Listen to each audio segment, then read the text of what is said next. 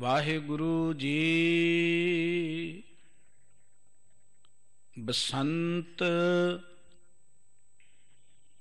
ਮਹਿਲਾ ਤੀਜਾ। ਤਿੰਨ ਬਸੰਤ ਜੋ ਹਰ ਗੁਣ ਗਾਏ। ਪੂਰੇ ਭਾਗ ਹਰ ਭਗਤ ਕਰਾਏ। ਤਿੰਨ ਬਸੰਤ, ਜੋ ਹਰ ਗੁਣ ਗਾਏ, ਪੂਰੇ ਭਾਗ ਹਰ ਭਗਤ ਕਰਾਏ। ਇਸ ਮਨ ਕਉ ਬਸੰਤ ਕੀ ਲੱਗੈ ਨਾ ਸੋਏ। ਇਹ ਮਨ ਜਲਿਆ ਦੂਜੈ ਦੋਏ ਰਹਾਉ। ਇਹ ਮਨ ਧੰਦੇ ਬਾਦਾ ਕਰਮ ਕਮਾਏ। ਮਾਇਆ ਮੂਠਾ ਸਦਾ ਬਿਲ ਲਾਏ। ਇਹ ਮਨ ਛੂਟੈ, ਜਾਂ ਸਤਗੁਰ ਭੇਟੈ ਜਮ ਕਾਲ ਕੀ ਫਿਰ ਆਵੇ ਨਾ ਫਿਟੈ। ਇਹ ਮਨ ਛੂਟਾ, ਗੁਰ ਲਿਆ ਛਡਾਏ। ਨਾਨਕ ਮਾਇਆ ਮੋਹ ਸ਼ਬਦ ਜਲਾਏ। ਇਹ ਮਨ ਛੂਟਾ, ਗੁਰ ਲਿਆ ਛਡਾਏ। ਨਾਨਕ ਮਾਇਆ ਮੋਹ ਸ਼ਬਦ ਜਲਾਇ ਵਾਹਿਗੁਰੂ ਜੀ ਕਾ ਖਾਲਸਾ, ਵਾਹਿਗੁਰੂ ਜੀ ਕੀ ਫਤਿਹ। ਚਵਰ ਛਤਰ ਤਖਤ ਦੇ ਮਾਲਕ, ਸਰਬ ਕਲਾ ਸਮਰੱਥ ਸਤਿਗੁਰੂ, ਜੁਗੋ ਜੁਗ ਅਟਲ, ਬਾਣੀ ਦੇ ਬੋਹਿਤ ਅਤੇ ਬ੍ਰਹਮ ਗਿਆਨ ਦੇ ਸਾਗਰ। ਧੰਨ ਸ਼੍ਰੀ ਗੁਰੂ ਗ੍ਰੰਥ ਸਾਹਿਬ ਜੀ ਦੀ ਪਾਵਨ ਪਵਿੱਤਰ ਹਜ਼ੂਰੀ ਵਿੱਚ ਸੁਭਾਈਮਾਨ। ਪਰਮ ਸਤਕਾਰ ਜੋ ਗੁਰੂ ਰੂਪ ਖਾਲਸਾ ਸਾਧ ਸੰਗਤ ਜੀ, ਵਾਹਿਗੁਰੂ ਜੀ ਦੀ ਬਖਸ਼ਿਸ਼ ਹੋਈ ਹੈ। ਅੰਮ੍ਰਿਤ ਵੇਲੇ ਗੁਰੂ ਕੀ ਹਜ਼ੂਰੀ ਵਿੱਚ ਬੈਠਣ ਦਾ ਸੁਭਾਗ ਪ੍ਰਾਪਤ ਹੋਇਆ ਹੈ। ਗੁਰਬਾਣੀ ਦਾ ਕੀਰਤਨ ਗੁਰੂ ਕੇ ਕੀਰਤਨੀ ਆਪ ਜੀ ਨੂੰ ਸਰਵਣ ਕਰਾ ਰਹੇ ਸਨ। ਸ੍ਰੀ ਗੁਰੂ ਗ੍ਰੰਥ ਸਾਹਿਬ ਜੀ ਦੀ ਪਾਵਨ ਪਵਿੱਤਰ ਬਾਣੀ ਦੀ ਵਿਚਾਰ, ਜੋ ਹਰ ਰੋਜ਼ ਆਪ ਜੀ ਸਰਵਣ ਕਰਦੇ ਹੋ, ਉਸ ਦੇ ਨਾਲ ਸੰਬੰਧਿਤ ਗੁਰੂ ਕੇ ਇਹ ਪਾਵਨ ਅਮੋਲ ਬਚਨ ਬਸੰਤ ਰਾਗ ਵਿੱਚੋਂ ਆਪ ਜੀ ਸਰਵਣ ਕਰ ਰਹੇ ਸੀ। ਬਸੰਤ ਖੇੜੇ ਦੀ ਰੁੱਤ ਹੈ, ਬੜੀ ਪਿਆਰੀ ਰੁੱਤ ਹੈ। ਚਾਰ ਸਫੇਰੇ ਹਰਿਆਵਲ ਹੈ, ਫੁੱਲ ਖਿੜੇ ਹੋਏ ਨੇ। ਫੁੱਲਾਂ ਤੇ ਤਿਤਲੀਆਂ ਭੌਰੇ ਮੰਡਰਾਉਂਦੇ ਨੇ। ਪਸ਼ੂ ਪੰਛੀ ਵੀ ਬੜੇ ਪ੍ਰਸੰਨ ਚਿਤ ਨਜ਼ਰ ਆਉਂਦੇ ਨੇ। ਮਨੁੱਖ ਨੂੰ ਵੀ ਇਹ ਰੁੱਤ ਬੜੀ ਸੁਹਾਵਣੀ ਲੱਗਦੀ ਹੈ। ਜਿਵੇਂ ਬਾਹਰੀ ਤੌਰ ਤੇ ਬਸੰਤ ਹੈ, ਜੇ ਕਿਤੇ ਮਨੁੱਖ ਦੇ ਮਨ ਵਿੱਚ ਵੀ ਬਸੰਤ ਆ ਜਾਏ ਤੇ ਜ਼ਿੰਦਗੀ ਸਫਲ ਹੋ ਜਾਂਦੀ ਹੈ। ਬਾਹਰੀ ਤੌਰ ਤੇ ਬਸੰਤ ਆ ਗਈ ਪਰ ਮਨੁੱਖ ਦੇ ਮਨ ਵਿੱਚ ਬਸੰਤ ਨਹੀਂ ਆਈ। ਉਹਦਾ ਕਾਰਨ ਹੈ ਕਿ ਮਨੁੱਖ ਦੇ ਮਨ 'ਚ ਮਾਇਆ, ਮਮਤਾ ਭਰੀ ਪਈ ਹੈ, ਹੰਕਾਰ ਭਰਿਆ ਪਿਆ ਹੈ। ਇਹ ਜਿੰਨੀਆਂ ਰੁੱਤਾਂ ਨੇ ਜਾਂ ਧਰਤੀ ਤੇ ਜੋ ਕੁਝ ਵੀ ਹੈ, ਉਹ ਮਨੁੱਖ ਦੇ ਲਈ ਹੈ। ਉਹ ਮਨੁੱਖ ਨੂੰ ਸਮਝਾਉਣ ਦੇ ਲਈ ਹੈ। ਸਿਆਣੇ ਕਹਿੰਦੇ ਧਰਤੀ ਯੂਨੀਵਰਸਿਟੀ ਹੈ ਜੇ ਤੁਸੀਂ ਸਿੱਖਣਾ ਚਾਹੋ ਤੇ ਦੁਨੀਆ 'ਚ ਹਰ ਥਾਂ ਤੋਂ ਕੁਝ ਸਿੱਖ ਸਕਦੇ ਹੋ। ਬਸੰਤ ਸਾਨੂੰ ਸਿਖਾਉਂਦੀ ਹੈ ਕਿ ਮਨੁੱਖ ਦੇ ਮਨ 'ਚ ਵੀ ਬਸੰਤ ਆਉਣੀ ਬਹੁਤ ਜ਼ਰੂਰੀ ਹੈ। ਪਰ ਕਿਉਂਕਿ ਮਨੁੱਖ ਦਾ ਮਨ ਮੋਹ ਮਾਇਆ ਵਿੱਚ ਖਚਤ ਹੈ, ਮਾਇਆ ਪਰਮਾਤਮਾ ਨੇ ਮਨੁੱਖ ਦੀ ਗੁਜ਼ਰਾਨ ਲਈ ਬਣਾਈ ਹੈ। ਮਾਇਆ ਤੋਂ ਬਿਨਾਂ ਜ਼ਿੰਦਗੀ ਦੀ ਬੇੜੀ ਚੱਲ ਨਹੀਂ ਸਕਦੀ। ਜਿਵੇਂ ਤੁਸੀਂ ਦਰਿਆ 'ਚ ਬੇੜੀ ਤਾਰਨੀ ਤੇ ਕੋਈ ਪਾਣੀ ਹੋਣਾ ਚਾਹੀਦਾ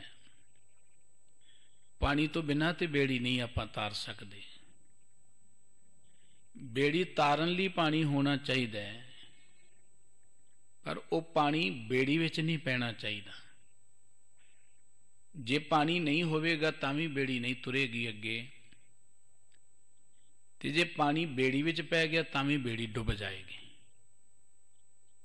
ਮਾਇਆ ਵਾਹਿਗੁਰੂ ਜੀ ਨੇ ਮਨੁੱਖ ਦੇ ਲਈ ਬਣਾਈ ਹੈ, ਮਨੁੱਖ ਦੀ ਗੁਜ਼ਰਾਨ ਹੈ। ਪਰ ਮਨੁੱਖ ਨੂੰ ਮਾਇਆ ਦੀ ਚਮਕ ਦਮਕ ਦੇਖ ਕੇ ਆਪਣੀ ਜ਼ਿੰਦਗੀ ਦਾ ਨਿਸ਼ਾਨਾ ਭੁੱਲ ਗਿਆ। ਉਹ ਮਾਇਆ ਨਾਲ ਹੀ ਜੁੜ ਗਿਆ। ਉਹਨੇ ਮਾਇਆ ਨੂੰ ਹੀ ਆਪਣੀ ਜ਼ਿੰਦਗੀ ਦਾ ਮਕਸਦ ਸਮਝ ਲਿਆ। ਜਿਵੇਂ ਬੇੜੀ ਵਿੱਚ ਪਾਣੀ ਪੈ ਜਾਏ, ਬੇੜੀ ਡੁੱਬ ਜਾਂਦੀ ਹੈ। ਮਨੁੱਖ ਦੀ ਸੁਰਤ ਵਿੱਚ ਮਾਇਆ ਵੜ ਗਈ। ਮਾਇਆ ਦੇ ਬੰਧਨਾਂ ਵਿੱਚ ਮਨੁੱਖ ਬਚ ਗਿਆ। ਮਾਇਆ ਦੀ ਮਮਤਾ ਨੇ ਨੂੰ ਘੇਰ ਲਿਆ। ਮਾਇਆ ਦੀ ਮਮਤਾ ਇਨੀ ਪਰਵਲ ਹੈ। ਸਤਿਗੁਰੂ ਸਾਹਿਬ ਜੀ ਕਹਿੰਦੇ ਨੇ ਕਿ ਮਾਇਆ, ਮਮਤਾ, ਮੋਹਣੀ, ਜਿਨ ਵਿਣ ਦੰਤਾਂ ਜਗ ਖਾਇਆ। ਬਿਨਾਂ ਦੰਦਾਂ ਤੋਂ ਮਨੁੱਖ ਨੂੰ ਸਮੂਲਚੇ ਨਿਕਲ ਜਾਂਦੀ ਹੈ ਇਹ ਮਾਇਆ। ਆਮ ਮਨੁੱਖ ਦੀ ਤੇ ਗੱਲ ਹੀ ਆਪਾਂ ਕੀ ਕਰਨੀ ਹੈ? ਵੱਡੇ ਵੱਡੇ ਦੇਵਤੇ ਜਿਨ੍ਹਾਂ ਨੂੰ ਲੋਕੀ ਪੂਜਦੇ ਨੇ, ਉਹਨਾਂ ਦੀਆਂ ਕਹਾਣੀਆਂ ਪੁਰਾਣਾ ਚ, ਗੁਰਬਾਣੀ ਚ ਪੜੀਆਂ ਪਈਆਂ ਨੇ। ਸਰਪਨੀ ਤੇ ਉਪਰ ਨਹੀਂ ਬਲੀਆ, ਜਿਨ ਬ੍ਰਹਮਾ ਵਿਸ਼ਨ ਮਹਾਦੇਵ ਛਲੀਆ। ਮਾਇਆ ਜ਼ਰੂਰੀ ਹੈ, ਮਨੁੱਖ ਦੇ ਅੰਦਰ ਮੋਹ ਵੀ ਜ਼ਰੂਰੀ ਹੈ। ਸਤਿਗੁਰੂ ਜੀ ਨੇ ਜੋ, ਪਰਮਾਤਮਾ ਨੇ ਜੋ ਕੁਝ ਬਣਾਇਆ ਹੈ, ਉਹਦੀ ਜ਼ਰੂਰਤ ਹੈ ਤਾਂ ਬਣਾਇਆ। ਲੇਕਿਨ ਜਦੋਂ ਮਨੁੱਖ ਉਸ ਚੀਜ਼ ਦੇ ਮਕਸਦ ਨੂੰ ਨਹੀਂ ਸਮਝਦਾ, ਉਦੋਂ ਉਹਦੇ ਲਈ ਦੁੱਖਾਂ ਦਾ ਕਾਰਨ ਬਣ ਜਾਂਦਾ ਹੈ। ਮੋਹ ਹੈ ਤੇ ਅਸੀਂ ਮਿਹਨਤ ਕਰਦੇ ਹਾਂ। ਮੋਹ ਹੈ ਅਸੀਂ ਪਰਿਵਾਰ ਨੂੰ ਪਾਲਦੇ ਹਾਂ, ਬੱਚਿਆਂ ਨੂੰ ਪਾਲਦੇ ਹਾਂ ਪੜਾਉਂਦੇ ਹਾਂ। ਸਤਿਗੁਰੂ ਜੀ ਨੇ ਇੱਕ ਥਾਂ ਤੇ ਕਿਹਾ, ਕੁਰਬਾਨ ਕੀਤਾ ਤਿਸੇ ਵਿੱਚੋਂ ਜਿਨ ਮੋਹ ਮੀਠਾ ਲਾਇਆ। ਉਸ ਪ੍ਰਮਾਤਮਾ ਤੋਂ ਮੈਂ ਕੁਰਬਾਨ ਹਾਂ ਜਿਨੇ ਮਨੁੱਖਤਾ 'ਚ ਮੋਹ ਪੈਦਾ ਕੀਤਾ ਮੋਹ ਬੀਜ ਹੈ। ਲੇਕਿਨ ਇਹ ਮੋਹ ਜਿਹੜਾ ਹੈ, ਇਹ ਜੇ ਪ੍ਰੇਮ ਵਿੱਚ ਬਦਲ ਜਾਏ, ਜਿੰਨਾ ਚਿਰ ਦਾਇਰਾ ਛੋਟਾ ਰਹਿੰਦਾ ਹੈ ਨਾ ਮਨੁੱਖ ਦੇ ਮੋਹ ਦਾ, ਆਪਣੇ ਪਰਿਵਾਰ ਤੱਕ, ਆਪਣੇ ਕੰਮਕਾਰ ਤੱਕ, ਉਹਨਾਂ ਚਿਰ ਇਹ ਬੰਧਨ ਬਣਿਆ ਰਹਿੰਦਾ ਜਦੋਂ ਇਹ ਦਾਇਰਾ ਵੱਡਾ ਹੁੰਦਾ ਜਾਏ ਪਰਿਵਾਰ ਤੋਂ ਜਿਵੇਂ ਆਪਣੇ ਪਰਿਵਾਰ ਦਾ ਖਿਆਲ ਰੱਖਦਾ ਦੂਜੇ ਪਿਆਰਾਂ ਨਾਲ ਵੀ ਉਹਦਾ ਪਰਿਵਾਰ, ਪਿਆਰਾਂ, ਪਰਿਵਾਰਾਂ ਨਾਲ ਪਿਆਰ ਕਰੇ। ਆਪਣਾ ਭਲਾ ਚਾਹੁੰਦਾ, ਦੂਜਿਆਂ ਦਾ ਵੀ ਭਲਾ ਲੋਚੇ। ਇਹ ਮੋਹ ਬਦਲ ਕੇ ਫਿਰ ਪ੍ਰੇਮ ਬਣ ਜਾਂਦਾ ਹੈ। ਮੋਹ ਦੇ ਵਿੱਚ ਮਨੁੱਖ ਕੇਵਲ ਲੈਣਾ ਹੀ ਜਾਣਦਾ ਹੈ, ਖੋਣਾ ਹੀ ਜਾਣਦਾ ਹੈ, ਕਬਜ਼ਾ ਹੀ ਕਰਨਾ ਜਾਣਦਾ ਹੈ। ਆਪਣੇ ਪਰਿਵਾਰ ਤੱਕ ਹੀ ਸੀਮਤ ਰਹਿੰਦਾ ਹੈ। ਆਪਣੀ, ਉਹ ਹਰ ਚੀਜ਼ ਜਿਹਨੂੰ ਆਪਣੀ ਲੱਗਦੀ ਜਿਹੜੀ ਇਹਨੂੰ, ਉਹਦੇ ਤੱਕ ਸੀਮਤ ਰਹਿੰਦਾ ਹੈ। ਪਰ ਜਦੋਂ ਮੋਹ ਵਿਸ਼ਾਲ ਹੁੰਦਾ ਹੈ, ਪਿਆਰ ਬਣਦਾ ਹੈ, ਫਿਰ ਮਨੁੱਖ ਕੇਵਲ ਆਪਣੇ ਲਈ ਨਹੀਂ, ਸਾਰਿਆਂ ਦੇ ਭਲੇ ਦੀ ਗੱਲ ਸੋਚਦਾ ਹੈ। ਇਸ ਕਰਕੇ ਮੋਹ ਬੀਜ ਹੈ, ਮੋਹ ਹੋਣਾ ਵੀ ਜ਼ਰੂਰੀ ਹੈ, ਪਰ ਮੋਹ ਬੰਧਨ ਨਹੀਂ ਬਣਨਾ ਚਾਹੀਦਾ। ਜਦੋਂ ਇਹ ਬੰਧਨ ਬਣ ਜਾਂਦਾ ਹੈ, ਫਿਰ ਮਨੁੱਖ ਖੂਹ ਦੇ ਡੱਡੂ ਵਾਂਗੂ ਆਪਣੇ ਤੋਂ ਬਾਹਰ ਕੁਝ ਦੇਖਦਾ ਹੀ ਨਹੀਂ ਹੈ। ਜ਼ਿੰਦਗੀ ਦੇ ਉਸ ਪਰਮ ਆਨੰਦ ਨੂੰ ਇਹ ਮਾਣ ਹੀ ਨਹੀਂ ਸਕਦਾ। ਅੱਜ ਦੇ ਇਸ ਪਵਿੱਤਰ ਮੁਖਵਾਕ ਅੰਦਰ ਸਤਿਗੁਰੂ ਸੱਚੇ ਪਾਤਸ਼ਾਹ ਜੀ ਮਾਇਆ ਦੀ, ਮਾਇਆ ਦੇ ਮੋਹ ਦੀ ਗੱਲ ਕਰਕੇ ਕਹਿੰਦੇ ਨੇ ਕਿ ਮਾਇਆ ਤੇ ਗੁਜਰਾਨ ਸੀ ਮਨੁੱਖ ਦੇ ਲਈ, ਪਰ ਇਹਦੇ ਮਨ 'ਚ ਮਾਇਆ ਦਾ ਇੰਨਾ ਮੋਹ ਜਾਗ ਪਿਆ ਕਿ ਇਹ ਗੁਜਰਾਨ ਹੀ ਇਹਦੇ ਲਈ ਬੰਧਨ ਬਣ ਗਈ, ਮਾਇਆ ਹੀ ਇਹਦੇ ਲਈ ਬੰਧਨ ਬਣ ਗਈ। ਜਿਸ ਚੀਜ਼ ਕਰਕੇ ਅੱਗੇ ਵਧਣਾ ਸੀ ਉਹ ਚੀਜ਼ ਇਹਦੇ ਲਈ ਬੰਧਨ ਬਣ ਗਈ। ਪਰਮਾਤਮਾ ਨੇ ਬੰਧਨ ਨਹੀਂ ਬਣਾਈ, ਪਰ ਮਨੁੱਖ ਦਾ ਅਤਿਅੰਤ ਲਗਾਓ ਜਿਹੜਾ ਸੀ, ਇਹਦੇ ਕਰਕੇ ਇਹ ਬੰਧਨ ਬਣ ਗਈ। ਫਿਰ ਮਨੁੱਖ ਮੋਹ ਵਿੱਚ ਜਿੰਨੇ ਕੰਮ ਕਰਦਾ, ਉਹ ਸਭ ਇਹਦੇ ਲਈ ਬੰਧਨ ਬਣਦੇ ਜਾਂਦੇ ਨੇ। ਸਤਿਗੁਰੂ ਸਾਹਿਬ ਜੀ ਦਾ ਇੱਕ ਬਚਨ ਕਿ ਇਹਨਾਂ ਬੰਧਨਾਂ 'ਚ ਪੈ ਕੇ ਜੋ ਕੁਝ ਮਨੁੱਖ ਕਰਦਾ ਜੇਤਾ, ਮੋਹ, ਪ੍ਰੀਤ, ਸਵਾਦ ਸੱਬਾ ਕਾਲਖ, ਦਾਗਾ, ਦਾਗ। ਜਿੰਨਾ ਮੋਹ 'ਚ ਪੈ ਕੇ ਜਿੰਨਾ ਸਵਾਦਾਂ 'ਚ ਪੈਂਦਾ ਜਿਵੇਂ ਦੁਨਿਆਵੀ ਪਦਾਰਥਾਂ ਨਾਲ ਪਿਆਰ ਕਰੀ ਚੱਲਿਆ ਜਾਂਦਾ ਉਹਨੇ ਇਹਨੂੰ ਦਾਗ ਲੱਗਦੇ ਚਲੇ ਜਾਂਦੇ ਨੇ। ਜਿੰਨਾ ਜਿੰਨਾ ਦਾਗੀ ਹੋਈ ਜਾਂਦਾ ਉਹਨਾਂ ਇਹ ਬੰਧਨ 'ਚ ਵੱਧਦਾ ਚਲਿਆ ਜਾਂਦਾ ਭਗਤ ਜੀ ਨੇ ਇਹ ਗੱਲ ਕਹੀ ਸੀ ਕਿ ਮੋਹ ਬੰਧਨ ਹੈ, ਪਰ ਆਪਾਂ ਇਹੀ ਮੋਹ ਪ੍ਰਮਾਤਮਾ ਨਾਲ ਪਾ ਲਈਏ, ਪਿਆਰ ਬਣ ਜਾਏਗਾ। ਫਿਰ ਜੋ ਤੋਂ ਬੰਦੇ ਮੋਹ ਫਾਸ, ਹਮ ਪ੍ਰੇਮ ਬੰਧਨ ਤੁਮ ਬਾਂਧੇ। ਜਦੋਂ ਪ੍ਰਮਾਤਮਾ ਨੂੰ ਪਿਆਰ ਦੇ ਬੰਧਨਾਂ ਵਿੱਚ ਬੰਨ ਲਵਾਂਗੇ, ਫਿਰ ਮੋਹ ਦੇ ਬੰਧਨ ਵੀ ਟੁੱਟ ਜਾਣਗੇ। ਗੁਰਬਾਣੀ ਵਿੱਚ ਸਤਿਗੁਰੂ ਜੀ ਨੇ ਮੋਹ ਨੂੰ ਬੜਾ ਪ੍ਰਬਲ ਦੱਸਿਆ ਹੈ। ਔਰ ਇਸ ਮੋਹ ਤੋਂ ਉੱਚਾ ਉੱਠਣ ਦਾ ਤਰੀਕਾ ਇਹ ਹੈ ਕਿ ਮਨੁੱਖ ਗੁਰੂ ਕੀ ਹਜ਼ੂਰੀ ਚ ਆਏ। ਸਤਿਗੁਰੂ ਜੀ ਗਿਆਨ ਬਖਸ਼ਦੇ ਨੇ, ਗਿਆਨ ਦੇ ਰਾਹੀਂ ਮਨੁੱਖ ਦੇ ਬੰਧਨ ਟੁੱਟਦੇ ਨੇ। ਮੋਹ ਜਾਂ ਕੋਈ ਵੀ ਚੀਜ਼ ਬੰਧਨ ਉਦੋਂ ਦੁੱਖਾਂ ਦਾ ਕਾਰਨ ਉਦੋਂ ਬਣਦੀ ਹੈ ਜਦੋਂ ਮਨੁੱਖ ਨੂੰ ਉਹਦੇ ਪ੍ਰਤੀ ਗਿਆਨ ਨਹੀਂ ਹੁੰਦਾ। ਜਦੋਂ ਇਹਨੂੰ ਗਿਆਨ ਹੋ ਜਾਏ, ਫਿਰ ਮੋਹ ਹੀ ਪਿਆਰ ਬਣ ਜਾਂਦਾ ਹੈ। ਸਤਿਗੁਰੂ ਗਿਆਨ ਦੀ ਦਾਤ ਬਖਸ਼ਦੇ ਨੇ। ਗੁਰਬਾਣੀ ਅੰਦਰ ਜਿਹੜੀ ਸਤਿਗੁਰੂ ਜੀ ਨੇ ਗੱਲ ਕੀਤੀ ਕਿ ਸਤਿਗੁਰੂ ਸਿੱਖ ਕੇ ਬੰਧਨ ਕਾਟੇ, ਗੁਰ ਕਾ ਸਿੱਖ ਵਿਕਾਰ ਤੇ ਹਟੇ। ਸਤਿਗੁਰੂ ਮਨੁੱਖ ਦੇ ਬੰਧਨਾਂ ਨੂੰ ਕੱਟਦਾ ਹੈ, ਨਹੀਂ ਤੇ ਮਨੁੱਖ ਸਾਰੀ ਜ਼ਿੰਦਗੀ ਬੰਧਨਾਂ 'ਚ ਖੱਜਲ ਖਵਾਰ ਹੁੰਦਾ ਰਹਿੰਦਾ ਗੁਰੂ ਨਾਨਕ ਸਾਹਿਬ ਜੀ ਦਾ ਇੱਕ ਪਵਿੱਤਰ ਬਚਨ ਹੈ ਕਿ ਮਨੁੱਖ ਇੰਨਾ ਕੁ ਮੋਹ ਵਿੱਚ ਪੈ ਜਾਂਦਾ ਹੈ। ਜਾਲੀ ਰਹਿਣ, ਜਾਲ ਦਿਨ ਹੁਆ, ਜੇਤੀ ਘੜੀ, ਫਾਹੀ ਤੇਤੀ। ਰਸ ਰਸ ਚੋਗ ਚੁਗੈ, ਨਿਤ ਪ੍ਰਾਣੀ ਛੂਟ ਸਮੂੜੇ, ਕਮਨ ਗੁਣੀ। ਇਹ ਰਾਤ ਵੀ ਇਹਦੇ ਲਈ ਜਾਲ ਬਣ ਜਾਂਦੀ ਹੈ, ਬੰਧਨ ਬਣ ਜਾਂਦੀ ਹੈ। ਦਿਨ ਵੀ ਇਹਦੇ ਲਈ ਬੰਧਨ ਬਣ ਜਾਂਦਾ ਹੈ। ਜਿੰਨੀਆਂ ਘੜੀਆਂ ਨੇ, ਜਿੰਨੀਆਂ ਪਹਿਰ ਨੇ, ਸਭ ਇਹਦੇ ਲਈ ਬੰਧਨ ਬਣ ਜਾਂਦੇ ਨੇ। ਫਿਰ ਮਨੁੱਖ ਆਪਣੇ ਆਪ ਇਹਨਾਂ ਤੋਂ ਨਹੀਂ ਛੁੱਟ ਸਕਦਾ। ਜਦੋਂ ਕੋਈ ਮਨੁੱਖ ਮਾਇਆ ਦੇ ਮੋਹ ਵਿੱਚ ਖਚਤ ਹੋ ਜਾਏ, ਉਹ ਆਪਣੇ ਆਪ ਨਹੀਂ ਛੁੱਟ ਸਕਦਾ। ਜਿਵੇਂ ਕੋਈ ਬੰਦਾ ਦਲਦਲ ਵਿੱਚ ਫਸ ਜਾਏ, ਦਲਦਲ ਵਿੱਚੋਂ ਬੰਦਾ ਆਪ ਨਹੀਂ ਨਿਕਲ ਸਕਦਾ। ਕੋਈ ਪਸ਼ੂ, ਕੋਈ ਮਨੁੱਖ ਕਾਰਨ ਵਿੱਚ ਫਸ ਜਾਏ, ਦਲਦਲੀ ਧਰਤੀ ਹੁੰਦੀ ਹੈ, ਦਰਿਆਵਾਂ ਦੇ ਕੰਢਿਆਂ ਤੇ ਜਾਂ ਹੋਰ ਕਈ ਥਾਵਾਂ ਤੇ। ਉੱਥੇ ਬੰਦਾ ਜੇ ਫਸ ਜਾਏ, ਜਿੰਨਾ ਉਹਦੇ ਚੋਂ ਆਪ ਨਿਕਲਣ ਦਾ ਯਤਨ ਕਰੇਗਾ ਉਹਨਾਂ ਡੂੰਗਾ ਹੀ ਧੱਸਦਾ ਚਲਿਆ ਜਾਏਗਾ ਖੁੱਬਦਾ ਚਲਿਆ ਜਾਏਗਾ। ਸਿਆਣੇ ਕਹਿੰਦੇ ਉੱਥੋਂ ਬਚਣ ਦਾ ਇੱਕੋ ਇੱਕ ਤਰੀਕਾ ਹੈ। ਬੰਦਾ ਆਪਣਾ ਕੋਈ ਜ਼ੋਰ ਨਾ ਲਗਾਏ, ਰੌਲਾ ਪਾਏ, ਪੁਕਾਰ ਕਰੇ, ਕੋਈ ਉਹਦੀ ਪੁਕਾਰ ਸੁਣ ਕੇ ਤਕਨੀਕ ਨਾਲ ਉਹਨੂੰ ਕੱਢ ਲੇ ਤੇ ਕੱਢ ਲੇ, ਉਹ ਵੀ ਅਣਜਾਣ ਨਹੀਂ ਕਰ ਸਕਦਾ। ਮਾਇਆ ਦੇ ਮੋਹ ਵਿੱਚੋਂ ਜਾਂ ਵਿਕਾਰਾਂ ਦੇ ਬੰਧਨਾਂ ਚੋਂ ਮਨੁੱਖ ਆਪਣੇ ਯਤਨ ਨਾਲ ਮੁਕਤ ਨਹੀਂ ਹੋ ਸਕਦਾ। ਇੱਥੇ ਦੇਖੋ ਇੱਕ ਤਰੀਕਾ ਅਰਦਾਸ ਕਰੀਏ, ਗੁਰੂ ਦਾ ਆਸਰਾ ਲੈ ਲਈਏ। ਗੁਰੂ ਆਪਣੇ ਗਿਆਨ ਰਾਹੀਂ ਮਨੁੱਖ ਦੇ ਇਹ ਬੰਧਨ ਕੱਟਦਾ ਹੈ। ਮਨੁੱਖ ਨੂੰ ਬੰਧਨਾਂ ਤੋਂ ਮੁਕਤ ਕਰਕੇ ਇਹ ਮੋਹ ਨੂੰ ਪਿਆਰ ਵਿੱਚ ਬਦਲ ਦਿੰਦਾ ਹੈ। ਜਦੋਂ ਪਿਆਰ ਬਣ ਜਾਂਦਾ ਹੈ, ਮਨੁੱਖ ਦੀ ਜ਼ਿੰਦਗੀ 'ਚ ਬਸੰਤ ਆ ਜਾਂਦੀ ਹੈ। ਸਤਿਗੁਰੂ ਜੀ ਅੱਜ ਦੇ ਮੁੱਖ ਵਾਕ ਰਾਹੀਂ ਦੱਸ ਰਹੇ ਕਿ ਧਰਤੀ ਤੇ ਬਸੰਤ ਆਈ ਹੋਈ ਹੈ। ਪਰ ਮਨੁੱਖ ਦੇ ਮਨ 'ਚ ਬਸੰਤ ਨਹੀਂ ਕਿਉਂ? ਜੋ ਕਾਰਨ ਸਤਿਗੁਰੂ ਜੀ ਦੱਸ ਕੇ ਉਹਦੇ ਤੋਂ ਨਿਵਰਤੀ ਦਾ ਸਾਧਨ ਸਾਨੂੰ ਦੱਸਦੇ ਨੇ, ਆਪਾਂ ਮਿਲ ਕੇ ਗੁਰੂ ਕੇ ਇਹਨਾਂ ਅੰਮ੍ਰਿਤ ਬਚਨਾਂ ਦੀ ਵਿਚਾਰ ਸਾਂਝੀ ਕਰੀਏ। ਸਤਿਗੁਰੂ ਜੀ ਦੇ ਪਿਆਰ 'ਚ ਜੁੜਦੇ ਆਂ, ਮੁਖ ਤੋਂ ਸਾਰੇ ਹੀ ਉਚਾਰਨ ਕਰੀਏ। ਜੀ ਸਤਨਾਮ। ਵਾਹਿਗੁਰੂ ਸਾਹਿਬ ਜੀ, ਬਸੰਤ ਮਹਿਲਾ ਤੀਜਾ। ਤਿੰਨ ਬਸੰਤ ਜੋ ਹਰ ਗੁਣ ਗਾਏ। ਗੁਰੂ ਅਮਰਦਾਸ ਜੀ ਦੇ ਇਹ ਪਾਵਨ ਬਚਨ ਸ੍ਰੀ ਗੁਰੂ ਗ੍ਰੰਥ ਸਾਹਿਬ ਜੀ ਦੇ ਪਵਿੱਤਰ ਅੰਕ 1176 ਤੇ ਬਸੰਤ ਰਾਗ ਵਿੱਚ ਅੰਕਿਤ ਨੇ। ਸਤਿਗੁਰੂ ਜੀ ਮੁੱਖ ਵਾਕ ਦੀਆਂ ਜੋ ਮੁੱਖ ਕੇਂਦਰੀ ਪੰਕਤੀਆਂ ਨੇ, ਉੱਥੇ ਬਚਨ ਕਹਿ ਰਹੇ ਕਿ ਇਸ ਮਨ ਕੋ ਬਸੰਤ ਕੀ ਲੱਗੈ ਨਾ ਸੋਏ, ਇਹ ਮਨ ਜੜਿਆ ਦੂਜੇ ਦੋਏ। ਕਿ ਮਨੁੱਖ ਦਾ ਇਹ ਜਿਹੜਾ ਮਨ ਹੈ ਨਾ, ਇਹਦੇ ਉੱਪਰ ਬਸੰਤ ਦਾ ਕੋਈ ਅਸਰ ਨਹੀਂ ਹੋ ਰਿਹਾ। ਦੇਖੋ ਬਾਹਰੋਂ ਰੁੱਤ ਕਿੰਨੀ ਸੁਹਾਵਣੀ ਹੈ, ਕਿੰਨੀ ਪਿਆਰੀ ਹੈ। ਬਨਸਪਤੀ ਮੌਲੀ ਹੈ, ਪੰਛੀਆਂ ਦੀ ਚਹਿਚਹਾੜ ਸੁਣੋ ਕਿੰਨੀ ਸੋਹਣੀ ਲੱਗਦੀ ਹੈ। ਬਾਗਾਂ, ਬੂਟਿਆਂ, ਦਰਖਤਾਂ ਦੇ ਸਵੇਰੇ ਸਵੇਰੇ ਪੰਛੀ ਬੋਲਦੇ ਨੇ, ਕੋਇਲਾਂ ਬੋਲਣਗੀਆਂ। ਲੇਕਿਨ ਇਹੋ ਜੇ ਸੁੰਦਰ ਵਾਤਾਵਰਣ ਵਿੱਚ ਮਨੁੱਖ ਉਦਾਸ ਹੈ। ਮਨੁੱਖ ਕ੍ਰੋਧ ਵਿੱਚ ਹੀ ਸੜਿਆ ਬੈਠਾ ਹੈ। ਮਨੁੱਖ ਬੰਧਨਾਂ 'ਚ ਵਜਾ ਬੈਠਾ ਹੈ। ਸਤਿਗੁਰੂ ਜੀ ਕਹਿੰਦੇ, ਇਸ ਮਨ ਕੋ ਬਸੰਤ ਕੀ ਲੱਗੇ ਨਾ ਸੋਏ। ਇਸ ਮਨੁੱਖ ਦੇ ਮਨ ਦੇ ਉੱਪਰ ਬਸੰਤ ਦਾ ਕੋਈ ਅਸਰ ਨਹੀਂ ਹੈ। ਕੋਈ ਪ੍ਰਭਾਵ ਨਹੀਂ ਹੈ।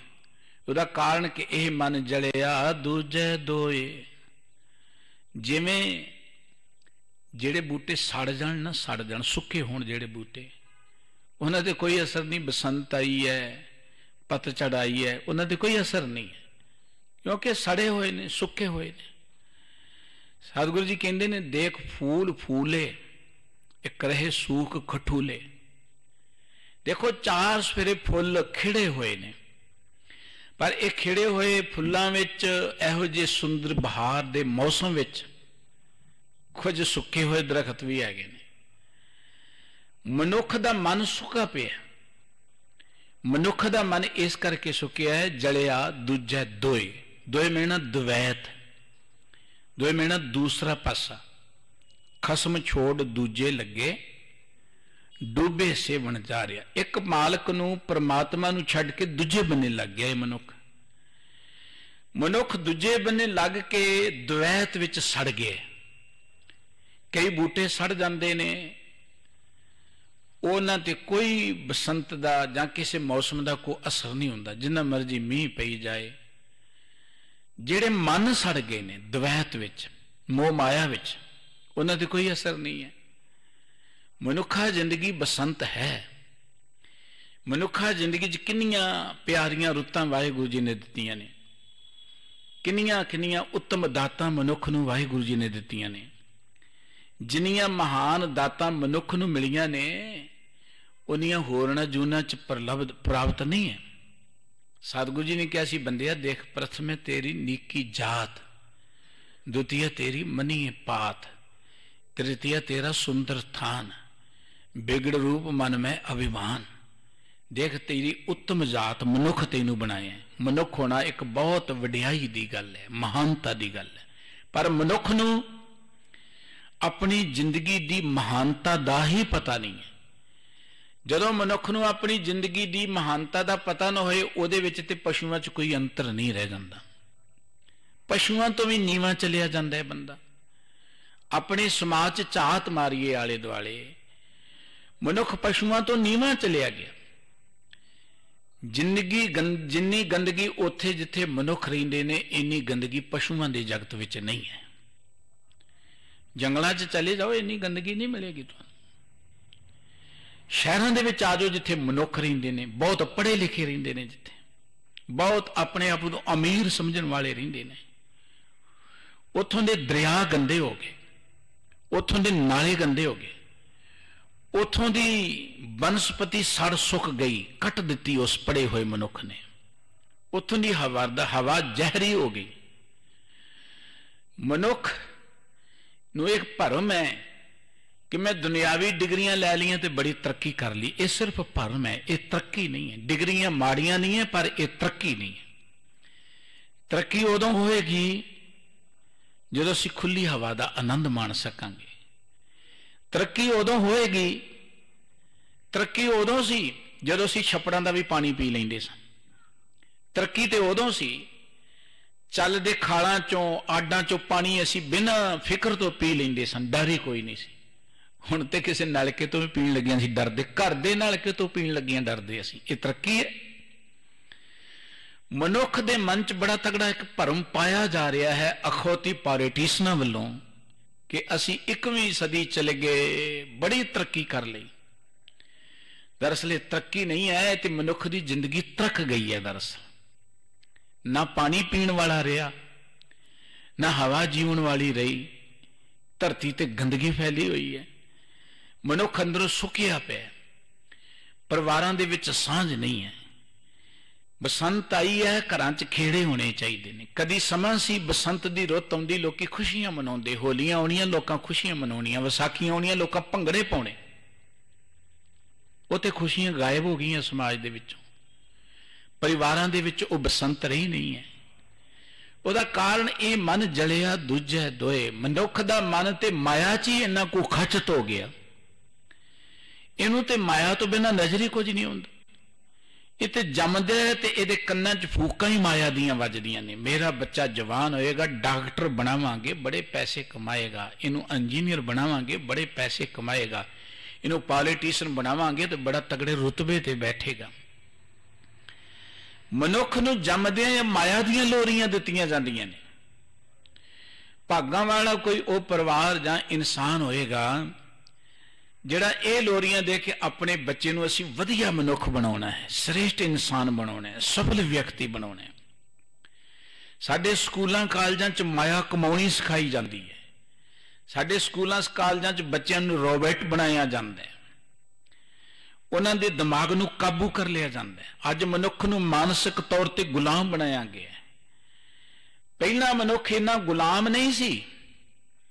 ਅੱਜ ਮਨੁੱਖ ਗੁਲਾਮ ਬਣ ਗਿਆ ਮਾਨਸਿਕ ਤੌਰ ਤੇ। ਚੱਲ ਹੀ ਨਹੀਂ ਸਕਦਾ, ਉਹ ਡਾਕਟਰ ਤੋਂ ਬਿਨਾਂ ਉਹਦੀ ਜ਼ਿੰਦਗੀ ਨਹੀਂ ਚੱਲ ਸਕਦੀ। ਪੈਰ ਪੈਰ ਤੇ ਮਸ਼ੀਨਾਂ ਤੇ ਡਿਪੈਂਡ ਹੋ ਗਿਆ। ਹਰ ਚੀਜ਼ ਉਹ ਮਸ਼ੀਨ ਦੇ ਰਾਹੀਂ ਜਾਣਨਾ ਚਾਹੁੰਦਾ ਹੈ। ਅੱਜ ਤੇ ਮਨੁੱਖ ਨੂੰ ਦੋ ਦੂਣੀ ਚਾਰ ਕਰਨ ਲਈ ਵੀ ਕੈਲਕੂਲੇਟਰ ਲੈਣਾ ਪੈਂਦਾ ਹੈ। ਮਨੁੱਖ ਗੁਲਾਮ ਹੋ ਗਿਆ ਮਾਨਸਿਕ ਤੌਰ ਤੇ, ਜਿਹਨੂੰ ਤਰੱਕੀ ਕਹਿੰਦੇ ਆ, ਉਸ ਤਰੱਕੀ ਨੇ ਇਹਨੂੰ ਬੰਧਨਾਂ 'ਚ ਬੰਨ ਲਿਆ, ਗੁਲਾਮ ਹੋ ਗਿਆ ਇਹ ਮਨੁੱਖ। ਸਤਿਗੁਰੂ ਜੀ ਕਹਿੰਦੇ, ਇਹਦੇ ਅੰਦਰ ਬਸੰਤ ਨਹੀਂ, ਬਾਹਰ ਬਸੰਤ ਹੈ ਇਹਦੇ ਅੰਦਰ ਬਸੰਤ ਨਹੀਂ, ਉਹਦਾ ਕਾਰਨ ਇਹ ਤਾਂ ਮਾਇਆ ਦੇ ਮੋਹ ਵਿੱਚ ਸੜ ਗਿਆ ਅੰਦਰੋਂ। ਦਵੈਤ ਵਿੱਚ ਇਹ ਸੜ ਗਿਆ ਅੰਦਰੋਂ। ਕਦੀ ਬਸੰਤ ਨਹੀਂ ਆ ਸਕਦੀ। ਸੜੀ ਹੋਈ ਜਿਹੜੀ ਬਨਸਪਤੀ ਹੈ, ਭਾਵੇਂ ਬਸੰਤ ਆ ਜਾਏ, ਭਾਵੇਂ ਵਰਖਾ ਆ ਜਾਏ, ਕੁਝ ਵੀ ਆ ਜਾਏ, ਉਹਦੇ ਤੇ ਕੀ ਅਸਰ ਹੈ? ਮਨੁੱਖ ਤੇ ਅੰਦਰੋਂ ਸੜਿਆ ਹੋਇਆ ਜਿੰਨਾ ਚਿਰ ਅੰਦਰੋਂ ਇਹਦੀ ਉਹ ਸੜਾਂਦ ਖਤਮ ਨਹੀਂ ਹੁੰਦੀ, ਉਹ ਬੰਧਨ ਨਹੀਂ ਟੁੱਟਦੇ ਉਹਨਾਂ ਚਿਰੇ ਤੇ ਬਸੰਤ ਨਹੀਂ ਆਏਗੀ। ਬਸੰਤ ਦਾ ਕੋਈ ਫ਼ਰਕ ਨਹੀਂ ਪਏਗਾ। ਸਤਿਗੁਰੂ ਸਾਹਿਬ ਜੀ ਕਹਿੰਦੇ, ਤਿੰਨ ਬਸੰਤ ਜੋ ਹਰ ਗੁਣ ਗਾਏ, ਬਸੰਤ ਆ ਸਕਦੀ ਹੈ। ਜਿਹੜਾ ਮਨੁੱਖ ਪਰਮਾਤਮਾ ਦੇ ਗੁਣ ਗਾਏਗਾ, ਉਹਦੇ ਤੇ ਬਸੰਤ ਆਏਗੀ ਆਏਗੀ? ਉਹਨੂੰ ਕੋਈ ਰੋਕ ਨਹੀਂ ਸਕਦਾ। ਪਰਮਾਤਮਾ ਦੇ ਗੁਣ ਗਾਉਣ ਦਾ ਅਰਥ ਹੈ, ਵਾਹਿਗੁਰੂ ਜੀ ਨੇ ਸਾਨੂੰ ਜ਼ਿੰਦਗੀ ਦਿੱਤੀ ਹੈ। ਬੰਦਾ ਵਾਹਿਗੁਰੂ ਜੀ ਦਾ ਧੰਨਵਾਦ ਕਰੇ। ਦੇਖੋ, ਜ਼ਿੰਦਗੀ ਪ੍ਰਾਪਤ ਕਰਨ ਵਿੱਚ ਸਾਡੀ ਕੋਈ ਸਿਆਣਪ ਨਹੀਂ ਹੈ। ਕੋਈ ਅਸੀਂ ਪੈਸੇ ਨਹੀਂ ਖਰਚੇ, ਅਸੀਂ ਕੋਈ ਸਿਆਣਪ ਨਾਲ ਜ਼ਿੰਦਗੀ ਪ੍ਰਾਪਤ ਨਹੀਂ ਕੀਤੀ। ਇਹ ਮਨੁੱਖ ਦੀ ਮੂਰਖਤਾ ਹੈ ਕਿ ਜ਼ਿੰਦਗੀ ਪ੍ਰਾਪਤ ਕਰਕੇ ਕਹੇ, ਜੀ, ਮੈਂ ਤੇ ਮੰਨਦਾ ਹੀ ਨਹੀਂ ਕਿਸੇ ਨੂੰ, ਮੈਂ ਤੇ ਜਾਣਦਾ ਹੀ ਨਹੀਂ ਕੀ ਰੱਬ ਹੁੰਦਾ। ਇਹ ਤੋਂ ਵੱਡੀ ਮੂਰਖਤਾ ਕੀ ਹੋ ਸਕਦੀ ਹੈ? ਕੋਈ ਬੱਚਾ ਕਹੇ, ਜੀ, ਮੈਂ ਨਹੀਂ ਮਾਂ ਪਿਓ ਨੂੰ ਜਾਣਦਾ। ਆਪਾਂ ਕਹਿੰਦੇ ਉਹ ਮੂਰਖ ਹੈ, ਜਿਹਨੂੰ ਮਾਂ ਪਿਓ ਦੀ ਕਦਰ ਨਹੀਂ, ਉਹ ਤੇ ਮੂਰਖ ਹੈ। ਕੋਈ ਮਨੁੱਖ ਇਹ ਕਹੇ ਕਿ ਮੈਂ ਤੇ ਰੱਬ ਨੂੰ ਹੀ ਨਹੀਂ ਜਾਣਦਾ ਜੀ, ਕੀ ਹੁੰਦਾ ਹੈ ਰੱਬ? ਇਹਦੋਂ ਵੱਡਾ ਮੂਰਖਪਣਾ ਕੀ ਹੋ ਸਕਦਾ ਹੈ? ਜਿਸ ਪ੍ਰਮਾਤਮਾ ਨੇ ਪੈਦਾ ਕੀਤਾ ਜਿਸ ਪ੍ਰਮਾਤਮਾ ਨੇ ਸੁੰਦਰ ਸਰੀਰ ਦਿੱਤਾ ਜਿਸ ਪ੍ਰਮਾਤਮਾ ਨੇ ਸਾਡੀ ਪ੍ਰਤਪਾਲਣਾ ਦੇ ਲਈ ਇੰਨੇ ਸਾਧਨ ਬਣਾਏ ਨੇ, ਸਾਡੇ ਲਈ ਧਰਤੀ ਬਣਾਈ ਹੈ, ਪੌਣ ਪਾਣੀ ਬਣਾਇਆ ਹੈ, ਜਿਨ ਦੀਆ ਤੁਧ ਨੀਰ ਨਿਰਮੋਲਾ, ਜਿਨ ਦੀਆ ਤੁਧ ਪਵਨ ਅਮੋਲਾ, ਜੇ ਪ੍ਰਸਾਦ ਬਸੈ ਸੁਖ ਮੰਦਰ ਜਿਹਦੀ ਕਿਰਪਾ ਸਰਕਾਰ ਸੋਹਣੇ ਘਰਾਂ 'ਚ ਰਹਿ ਰਹੇ ਆ, ਸੋਹਣੀ ਧਰਤੀ ਹੈ, ਹਵਾ ਹੈ, ਪਾਣੀ ਹੈ, ਸੂਰਜ ਹੈ। ਬੰਦਾ ਕਹਿੰਦਾ ਮੈਂ ਉਹਨੂੰ ਜਾਣਦਾ ਹੀ ਨਹੀਂ। ਸਤਿਗੁਰੂ ਸਾਹਿਬ ਜੀ ਕਹਿੰਦੇ ਕਿ ਮਨੁੱਖ ਤੇ ਬਸੰਤ ਆ ਸਕਦੀ ਹੈ, ਪਰ ਜੇ ਇਹ ਪ੍ਰਮਾਤਮਾ ਦੇ ਗੁਣ ਗਾਏ। ਪ੍ਰਮਾਤਮਾ ਦੇ ਗੁਣ ਗਾਉਣ ਦੀ ਕੋਈ ਪ੍ਰਮਾਤਮਾ ਨੂੰ ਭੁੱਖ ਨਹੀਂ ਹੈ ਕਿ ਮੇਰੇ ਗੁਣ ਗਾਓ? ਪਰਮਾਤਮਾ ਨੂੰ ਕੋਈ ਭੁੱਖ ਨਹੀਂ ਹੈ ਮੇਰੇ ਗੁਣ ਗਾਓ। ਪਰਮਾਤਮਾ ਦੇ ਗੁਣ ਗਾਇਆ ਪਰਮਾਤਮਾ ਕੋ ਵੱਡਾ ਨਹੀਂ ਹੋ ਜਾਣਾ, ਨਹੀਂ ਗਾਵਾਂਗੇ, ਕੋਈ ਛੋਟਾ ਨਹੀਂ ਹੋ ਜਾਣਾ, ਉਹ ਤੇ ਉੱਡਾ ਹੀ ਰਹਿਣਾ ਜਿੱਡਾ ਹੈ, ਉਸ ਤਰ੍ਹਾਂ ਦੇ ਹੀ ਰਹਿਣਾ ਪਰਮਾਤਮਾ ਦੇ ਗੁਣ ਗਾਇਆ ਅਸੀਂ ਹਰੇ ਪਰੇ ਹੋ ਜਾਵਾਂਗੇ। ਗੁਰਬਾਣੀ ਕਹਿੰਦੀ, ਹਰ ਕਾ ਨਾਮ ਤੇ ਆਏ ਕਹਿ, ਹੋ ਹਰਿਆ ਪਾਈ ਜੇ ਜ਼ਿੰਦਗੀ 'ਚ ਬਸੰਤ ਮੰਨਣੀ ਹੈ, ਚਾਹ ਮੰਨਣਾ ਜ਼ਿੰਦਗੀ ਦਾ ਆਨੰਦ ਮੰਨਣਾ ਮਨ ਦਾ ਖੇੜਾ ਮੰਨਣਾ ਫਿਰ ਵਾਹਿਗੁਰੂ ਜੀ ਦੇ ਸ਼ੁਕਰਾਨੇ ਚ ਆ ਜਾਈਏ। ਧੰਨਵਾਦ ਵਾਲੀ ਬਿਰਤੀ। ਕੇਵਲ ਪਰਮਾਤਮਾ ਨਹੀਂ ਜੋ ਵੀ ਸਾਡੀ ਕੋਈ ਜ਼ਿੰਦਗੀ ਅੰਦਰ ਸਾਡੀ ਮਦਦ ਕਰਦਾ, ਉਹਦਾ ਧੰਨਵਾਦ ਕਰਨਾ। ਇਹ ਹੈ ਗੁਣ ਗਾਉਣਾ। ਜ਼ਿੰਦਗੀ ਦੇ ਅੰਦਰ ਜਿੰਨਾ ਲੋਕਾਂ ਨੂੰ ਧੰਨਵਾਦ ਕਰਨ ਦੀ ਜਾਂਚ ਆ ਜਾਂਦੀ ਹੈ, ਪਰਮਾਤਮਾ ਉਹਨਾਂ ਨੂੰ ਜ਼ਿੰਦਗੀ ਅੰਦਰ ਇਹੋ ਜਿਹੇ ਮੌਕਿਆਂ ਦੀ ਕਦੀ ਕਮੀ ਨਹੀਂ ਆਉਣ ਦਿੰਦਾ। ਉਹ ਤੇ ਧੰਨਵਾਦ ਨਾਲ ਭਰੇ ਅੰਦਰੋਂ ਚਾਹ ਚ ਹੀ ਰਹਿੰਦੇ ਨੇ। ਧੰਨਵਾਦੀ ਬੰਦਾ ਸਦਾ ਚਾਹ ਚ ਰਹਿੰਦਾ ਹੈ। ਅਕਿਰਤਕਣ ਬੰਦਾ ਜ਼ਿੰਦਗੀ 'ਚ ਕਦੀ ਚਾਹ ਮਾਣ ਹੀ ਨਹੀਂ ਸਕਦਾ। ਸਤਿਗੁਰੂ ਜੀ ਕਹਿੰਦੇ ਜਿਹੜਾ ਪ੍ਰਮਾਤਮਾ ਦੇ ਗੁਣ ਗਾਉਂਦਾ ਹੈ, ਗੁਣ ਗਾਉਣ ਦੇ ਤੇ ਬਹਾਨੇ ਸਾਡੇ ਕੋ ਬੜੇ ਨੇ। ਸੋਹਣੇ ਘਰ ਨੂੰ ਦੇਖ ਕੇ ਰੱਬ ਦਾ ਧੰਨਵਾਦ ਕਰਦੇ ਕਰੇ ਵਾਹਿਗੁਰੂ ਜੀ, ਇੰਨੇ ਸੋਹਣੇ ਸੋਹਣੇ ਘਰ ਸਾਨੂੰ ਦਿੱਤੇ ਨੇ, ਲੋਕੀ ਤੇ ਸੜਕਾਂ ਤੇ ਸੌਂਦੇ ਨੇ ਰਾਤ ਨੂੰ। ਸੋਹਣੇ ਪਦਾਰਥ ਖਾਣ ਲੱਗੇ ਆ ਵਾਹਿਗੁਰੂ ਜੀ ਨੂੰ ਯਾਦ ਕਰ ਲਿਆ ਕਰੀਏ। ਲੋਕੀ ਤੇ ਚੌਂਕਾਂ 'ਚ ਖਲੋ ਕੇ ਰੋਟੀ ਦੀ ਖਾਤਰ ਮੰਗਦੇ ਨੇ, ਭੁੱਖੇ ਬੈਠੇ ਨੇ, ਕਈ ਖਾ ਵੀ ਨਹੀਂ ਸਕਦੇ। ਹੋਰ ਬਹੁਤ ਅਮੋਲ ਦਾਤਾਂ ਨੇ ਸਾਡੇ ਕੋਲ। ਜੇ ਆਪਾਂ ਝਾਤ ਮਾਰੀਏ, ਜੋ ਕੁਝ ਸਾਡੇ ਕੋਲ ਹੈ, ਉਹ ਅਮੋਲ ਵੀ ਹੈ, ਉਹ ਬੇਅੰਤ ਵੀ ਹੈ। ਨਾ ਉਹਦੀ ਅਸੀਂ ਗਿਣਤੀ ਕਰ ਸਕਦੇ ਹਾਂ, ਨਾ ਅਸੀਂ ਉਹਦਾ ਮੁੱਲ ਪਾ ਸਕਦੇ ਹਾਂ। ਤੇ ਉਸ ਪਰਮਾਤਮਾ ਦਾ ਅਸੀਂ ਧੰਨਵਾਦ ਕੀ ਕਰ ਸਕਦੇ ਹਾਂ? ਅਸੀਂ ਤੇ ਇਵੇਂ ਕਹਿ ਲਓ ਕਿ ਜੋ ਕੁਝ ਉਹਨੇ ਦਿੱਤਾ ਉਹਦੇ ਬਦਲੇ ਅਸੀਂ ਸਾਡੇ ਕੋਲ ਲਫ਼ਜ਼ ਨਹੀਂ ਜੋ ਅਸੀਂ ਬੋਲ ਸਕੀਏ। ਇਸ ਕਰਕੇ ਸਤਿਗੁਰੂ ਜੀ ਕਹਿੰਦੇ, ਜੇ ਪਰਮਾਤਮਾ ਦੇ ਗੁਣ ਗਾਓਗੇ ਤੁਹਾਡੇ ਅੰਦਰ ਬਸੰਤ ਆ ਜਾਏਗੀ, ਪੂਰੇ ਭਾਗ ਹਰ ਭਗਤ ਕਰਾਏ। ਜਦੋਂ ਪ੍ਰਮਾਤਮਾ ਦੇ ਧੰਨਵਾਦ ਵਿੱਚ ਜੁੜ ਜਾਓਗੇ, ਤੁਹਾਡੇ ਭਾਗ ਜਾਗਣੇ ਸ਼ੁਰੂ ਹੋ ਜਾਣਗੇ। ਕਹਿੰਦੇ ਜੀ, ਪਤਾ ਨਹੀਂ ਸਾਡੇ ਭਾਗ ਹੀ ਕਿਹੋ ਜਿਹੇ ਨੇ। ਪਤਾ ਨਹੀਂ ਰੱਬ ਨੇ ਸਾਡੀ ਕਿਸਮਤ ਕਿਹੋ ਜਿਹੀ ਲਿਖੀ ਹੈ। ਕਿਸੇ ਵੀ ਮਨੁੱਖ ਦੀ ਕਿਸਮਤ ਵਾਹਿਗੁਰੂ ਜੀ ਨੇ ਮਾੜੀ ਨਹੀਂ ਲਿਖੀ, ਨਾ ਉਹ ਲਿਖਣਾ ਚਾਹੁੰਦਾ ਅਸੀਂ ਰੱਬ ਦੇ ਬੱਚੇ ਆ ਕੋ ਮਾਂ ਪਿਓ ਆਪਣੇ ਬੱਚੇ ਦੀ ਕਿਸਮਤ ਮਾੜੀ ਲਿਖਦਾ ਕਿਸਮਤ ਮਨੁੱਖ ਨੇ ਲਿਖਣੀ ਹੈ। ਪਰਮਾਤਮਾ ਨੇ ਹੱਥ ਦੇ ਦਿੱਤੇ, ਕੰਨ ਦੇ ਦਿੱਤੇ, ਅੱਖਾਂ ਦੇ ਦਿੱਤੀਆਂ, ਪੈਰ ਦੇ ਦਿੱਤੇ, ਸਾਧਨ ਦੇ ਦਿੱਤੇ, ਬਹੁਤ ਕੁਝ ਦੇ ਦਿੱਤੇ। ਹੁਣ ਅਸੀਂ ਸੱਚ ਸੁਣਨ ਲੱਗਿਆਂ, ਕੰਨ ਹੀ ਬੰਦ ਕਰ ਲਈਏ। ਦੇਖੋ ਨਾ, ਝੂਠ ਬੋਲਣ ਲਈ ਅਸੀਂ ਬੜੇ ਉਤਾਵਲੇ ਹੋਈਏ, ਸੱਚ ਸੁਣ ਲਈ ਅਸੀਂ ਕੰਨ ਬੰਦ ਕਰ ਲਈਏ। ਝੂਠ ਦੇ ਬਦਲੇ ਅਸੀਂ ਦੌੜ ਭੱਜ ਕਰੀਏ, ਸੱਚ ਲਈ ਅਸੀਂ ਡਰਦੇ ਰਹੀਏ। ਫਿਰ ਸਾਡੇ ਭਾਗ ਕਿੱਥੋਂ ਜਾਗਣਗੇ? ਜਿੰਨਾ ਤੁਸੀਂ ਸੱਚ ਨੂੰ ਪਿਆਰ ਕਰੋਗੇ, ਜਿੰਨਾ ਤੁਸੀਂ ਇਮਾਨਦਾਰੀ ਦੇ ਮਾਰਗ ਤੇ ਤੁਰਦੇ ਜਾਓਗੇ, ਤੁਹਾਡੇ ਭਾਗ ਆਪਣੇ ਆਪ ਜਾਗਦੇ ਜਾਣਗੇ, ਪ੍ਰਫੁੱਲਤ ਹੁੰਦੇ ਜਾਣਗੇ, ਵੱਡੇ ਹੁੰਦੇ ਜਾਣਗੇ। ਸਤਿਗੁਰੂ ਜੀ ਕਹਿੰਦੇ, ਜਿਉਂ-ਜਿਉਂ ਪ੍ਰਮਾਤਮਾ ਦੇ ਗੁਣ ਗਾਓਗੇ, ਤੁਹਾਡੇ ਭਾਗ ਜਾਗਦੇ ਜਾਣਗੇ, ਤੁਸੀਂ ਵਡਭਾਗੀ ਬਣ ਜਾਓਗੇ। ਫਿਰ ਵਡਭਾਗੀ ਮਨੁੱਖ ਸਦਾ ਰੱਬ ਦੀ ਭਗਤੀ 'ਚ ਲਿਵਲੀਨ ਹੁੰਦਾ ਹੈ, ਉਹ ਸਦਾ ਹੀ ਰੱਬ ਦੀ ਸਿਫਤ ਸਲਾਹ ਵਿੱਚ ਜੁੜਿਆ ਰਹਿੰਦਾ ਹੈ। ਇਸ ਮਨ ਕੋ ਬਸੰਤ ਕੀ ਲੱਗੈ ਨਾ ਸੋਏ। ਸਾਡੇ ਇਸ ਮਨ ਦੇ ਉੱਪਰ ਬਸੰਤ ਦਾ ਅਸਰ ਨਹੀਂ ਹੁੰਦਾ, ਉਹਦਾ ਕਾਰਨ ਹੈ, ਇਹ ਮਨ ਜਲਿਆ ਦੂਜੇ ਦੋਏ। ਸਾਡਾ ਇਹ ਮਨ ਜਿਹੜਾ ਹੈ ਨਾ, ਉਹ ਦੂਜੇ ਦੋਏ। ਉਹ ਹੰਕਾਰ ਵਿੱਚ ਸੜ ਗਿਆ ਹੈ। ਉਹਦੇ ਤੇ ਮੋਹ ਮਾਇਆ ਦਾ ਪ੍ਰਭਾਵ ਪੈ ਗਿਆ ਹੈ। ਰਹਾਓ, ਇਹ ਮਨ ਧੰਦੇ ਬਾਧਾ ਕਰਮ ਕਮਾਏ। ਸਤਿਗੁਰੂ ਜੀ ਕਹਿੰਦੇ, ਸਾਡਾ ਮਨ ਤੇ ਧੰਦਿਆਂ 'ਚ ਵੱਜਿਆ ਬੈਠਾ ਹੈ। ਇਹਨੂੰ ਇੰਨੇ ਜੰਜਾਲ ਨੇ ਇਹਨਾਂ ਇਹ ਜੰਜਾਲਾਂ 'ਚ ਵੱਜ ਗਿਆ ਇਹ ਸਾਰਾ ਦਿਨ ਦੁਨਿਆਵੀ ਕੰਮਾਂ 'ਚ ਹੀ ਉਲਝਿਆ ਰਹਿੰਦਾ ਇਹ ਸਾਰਾ ਦਿਨ ਦੁਨਿਆਵੀ ਕੰਮਾਂ 'ਚ ਹੀ ਉਲਝਿਆ ਰਹਿੰਦਾ ਸਤਿਗੁਰੂ ਸਾਹਿਬ ਜੀ ਕਹਿੰਦੇ ਨੇ, ਇਹ ਮਨ ਧੰਦੇ ਬਾਦਾ ਕਰਮ ਕਮਾਏ। ਸਾਡਾ ਇਹ ਮਨ ਧੰਦਿਆਂ ਦੇ ਵਿੱਚ ਵੱਜ ਗਿਆ ਦੇਖੋ, ਕੰਮ ਕਰਨਾ ਬਹੁਤ ਜ਼ਰੂਰੀ ਹੈ। ਕੰਮ ਇਸ ਲਈ ਜ਼ਰੂਰੀ ਨਹੀਂ ਕਿ ਅਸੀਂ ਪੈਸੇ ਕਮਾਉਣੇ ਆ। ਪੈਸੇ ਗੁਜਰਾਨ ਹੈ, ਕਮਾਉਣ ਦਾ ਸਾਡਾ ਹੱਕ ਹੈ, ਉਹ ਜ਼ਰੂਰੀ ਹੈ। ਕੰਮ ਕਰਾਂਗੇ ਤੇ ਪੈਸੇ ਤੇ ਆਉਣੇ ਹੀ ਨੇ। ਸਿਆਣਿਆਂ ਦੇ ਕਥਨ ਹੈ ਕਿ ਉਦਮ ਅੱਗੇ ਲక్ష్ਮੀ ਪੱਖੇ ਅੱਗੇ ਪਾਉਣ। ਉਦਮ ਕਰੋਗੇ ਤੇ ਮਾਇਆ ਤੇ ਆਉਣੀ, ਜਿਵੇਂ ਪੱਖੇ ਦੇ ਨਾਲ ਹਵਾ ਆਈ ਜਾਂਦੀ ਹੈ ਨਾ। ਲੇਕਿਨ ਕੰਮ ਜਿਹੜਾ ਹੈ, ਉਹ ਬੰਧਨ ਨਹੀਂ ਬਣਨਾ ਚਾਹੀਦਾ। ਕੰਮ ਬੰਧਨ ਨਹੀਂ ਬਣਨਾ ਚਾਹੀਦਾ। ਹੁਣ ਕੋਈ ਬੰਦਾ ਕਹੇ ਜੀ, ਕੰਮ ਹੀ ਇੰਨੇ ਮੈਂ ਤੇ ਗੁਰਦੁਆਰੇ ਨਹੀਂ ਆ ਸਕਦਾ। ਦੇਖੋ ਜੀ, ਕੰਮ ਹੀ ਇੰਨੇ ਮੈਂ ਤੇ ਬਾਣੀ ਨਹੀਂ ਵੜ ਸਕਦਾ।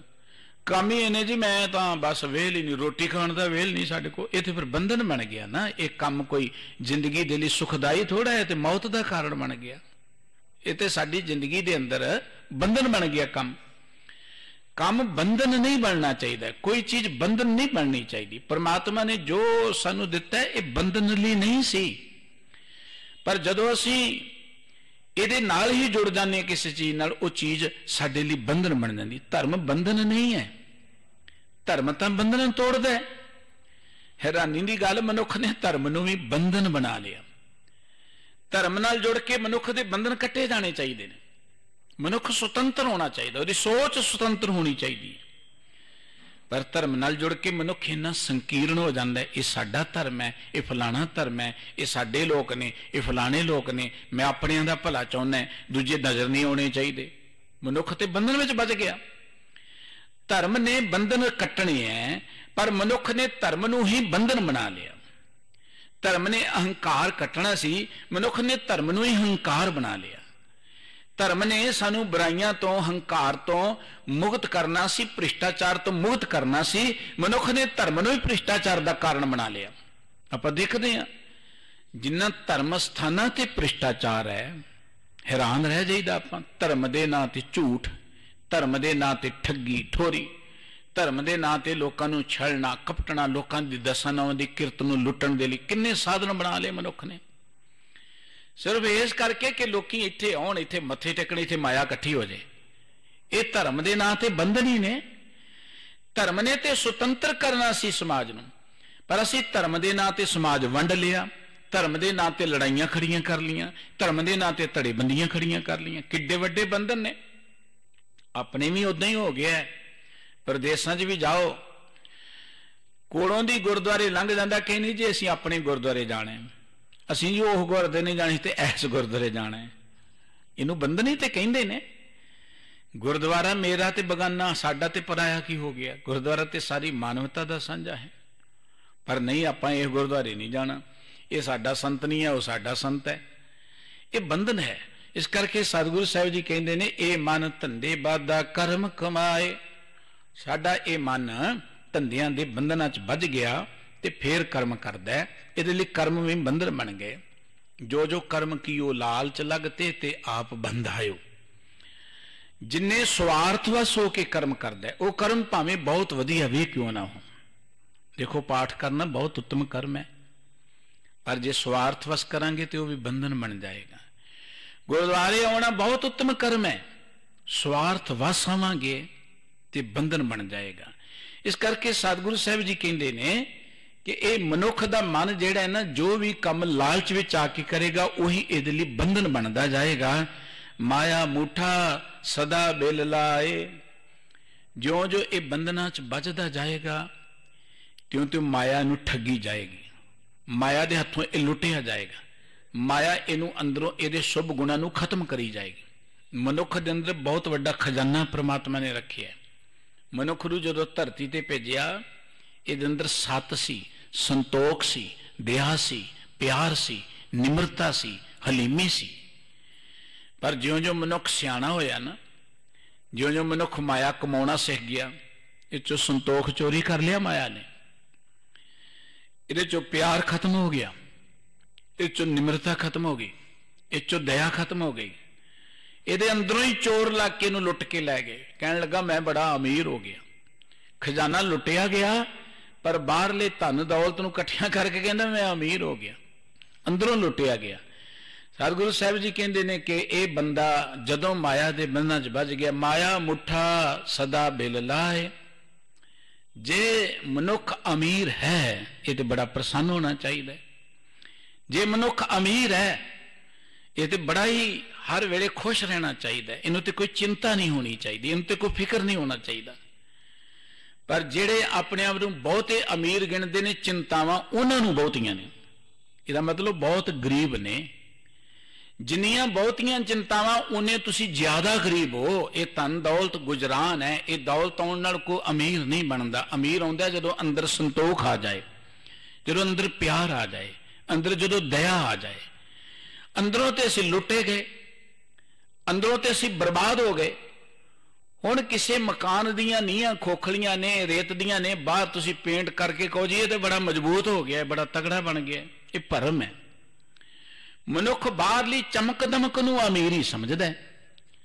ਬਾਹਰਲੇ ਦਿਖਾਵੇ ਨੂੰ ਹੀ ਉਹਨੇ ਸੋਚ ਲਿਆ ਕਿ ਮੈਂ ਬੜਾ ਅਮੀਰ ਹੋ ਗਿਆ। ਜੇ ਅਮੀਰ ਹੈ ਤੇ ਰੋਂਦਾ ਕਿਉਂ ਹੈ? ਜੇ ਅਮੀਰ ਹੈ ਤੇ ਚਿੰਤਾ ਕਾਦੀ ਹੈ ਇਹਨੂੰ ਫਿਰ? ਜੇ ਅਮੀਰ ਹੈ ਤੇ ਡਰਿਆ ਕਿਉਂ ਹੈ? ਲੋਕਾਂ ਨੂੰ ਡਰਾਉਂਦਾ ਕਿਉਂ ਹੈ? ਅਮੀਰ ਬੰਦਾ ਤੇ ਲੋਕਾਂ ਨੂੰ ਡਰਾਉਣ ਵਾਲਾ ਨਹੀਂ ਚਾਹੀਦਾ, ਉਹ ਤੇ ਲੋਕਾਂ ਨੂੰ ਹਸਾਉਣ ਵਾਲਾ ਚਾਹੀਦਾ ਹੈ। ਜਿੰਨਾ ਮਨੁੱਖਤਾ ਦੇ ਉੱਪਰ ਜ਼ੁਲਮ ਅਖੌਤੀ ਅਮੀਰਾਂ ਨੇ ਕੀਤਾ ਜਿੰਨਾ ਖੂਨ ਮਨੁੱਖਤਾ ਦਾ ਅਖੌਤੀ ਅਮੀਰਾਂ ਨੇ ਪੀਤਾ ਗਰੀਬ ਨਹੀਂ ਪੀਂਦੇ, ਮਾਫ ਕਰਨਾ। ਗਰੀਬਾਂ ਨੂੰ ਨਚੋੜੀ ਚਲੇ ਜਾਂਦੇ ਨੇ ਅਖੌਤੀ ਅਮੀਰ ਜਿਹੜੇ ਨੇ। ਕਈ ਬਹਾਨੇ ਬਣਾ ਬਣਾ ਕੇ ਉਹਨਾਂ ਲੁੱਟੀ ਜਾਂਦੇ ਨੇ। ਇੱਕ ਰਾਹ ਜਾਂਦੇ ਆ, ਕੋਈ ਡਾਂਗ ਨਾਲ ਕਿਸ ਨੂੰ ਲੁੱਟ ਰਿਹਾ, ਆਪਾਂ ਕਹਿੰਦੇ ਜੀ ਬੜਾ ਤਗੜਾ ਅਪਰਾਧੀ ਹੈ ਤੇ, ਲੁੱਟ ਲਿਆ ਇਹਨੇ ਤੇ।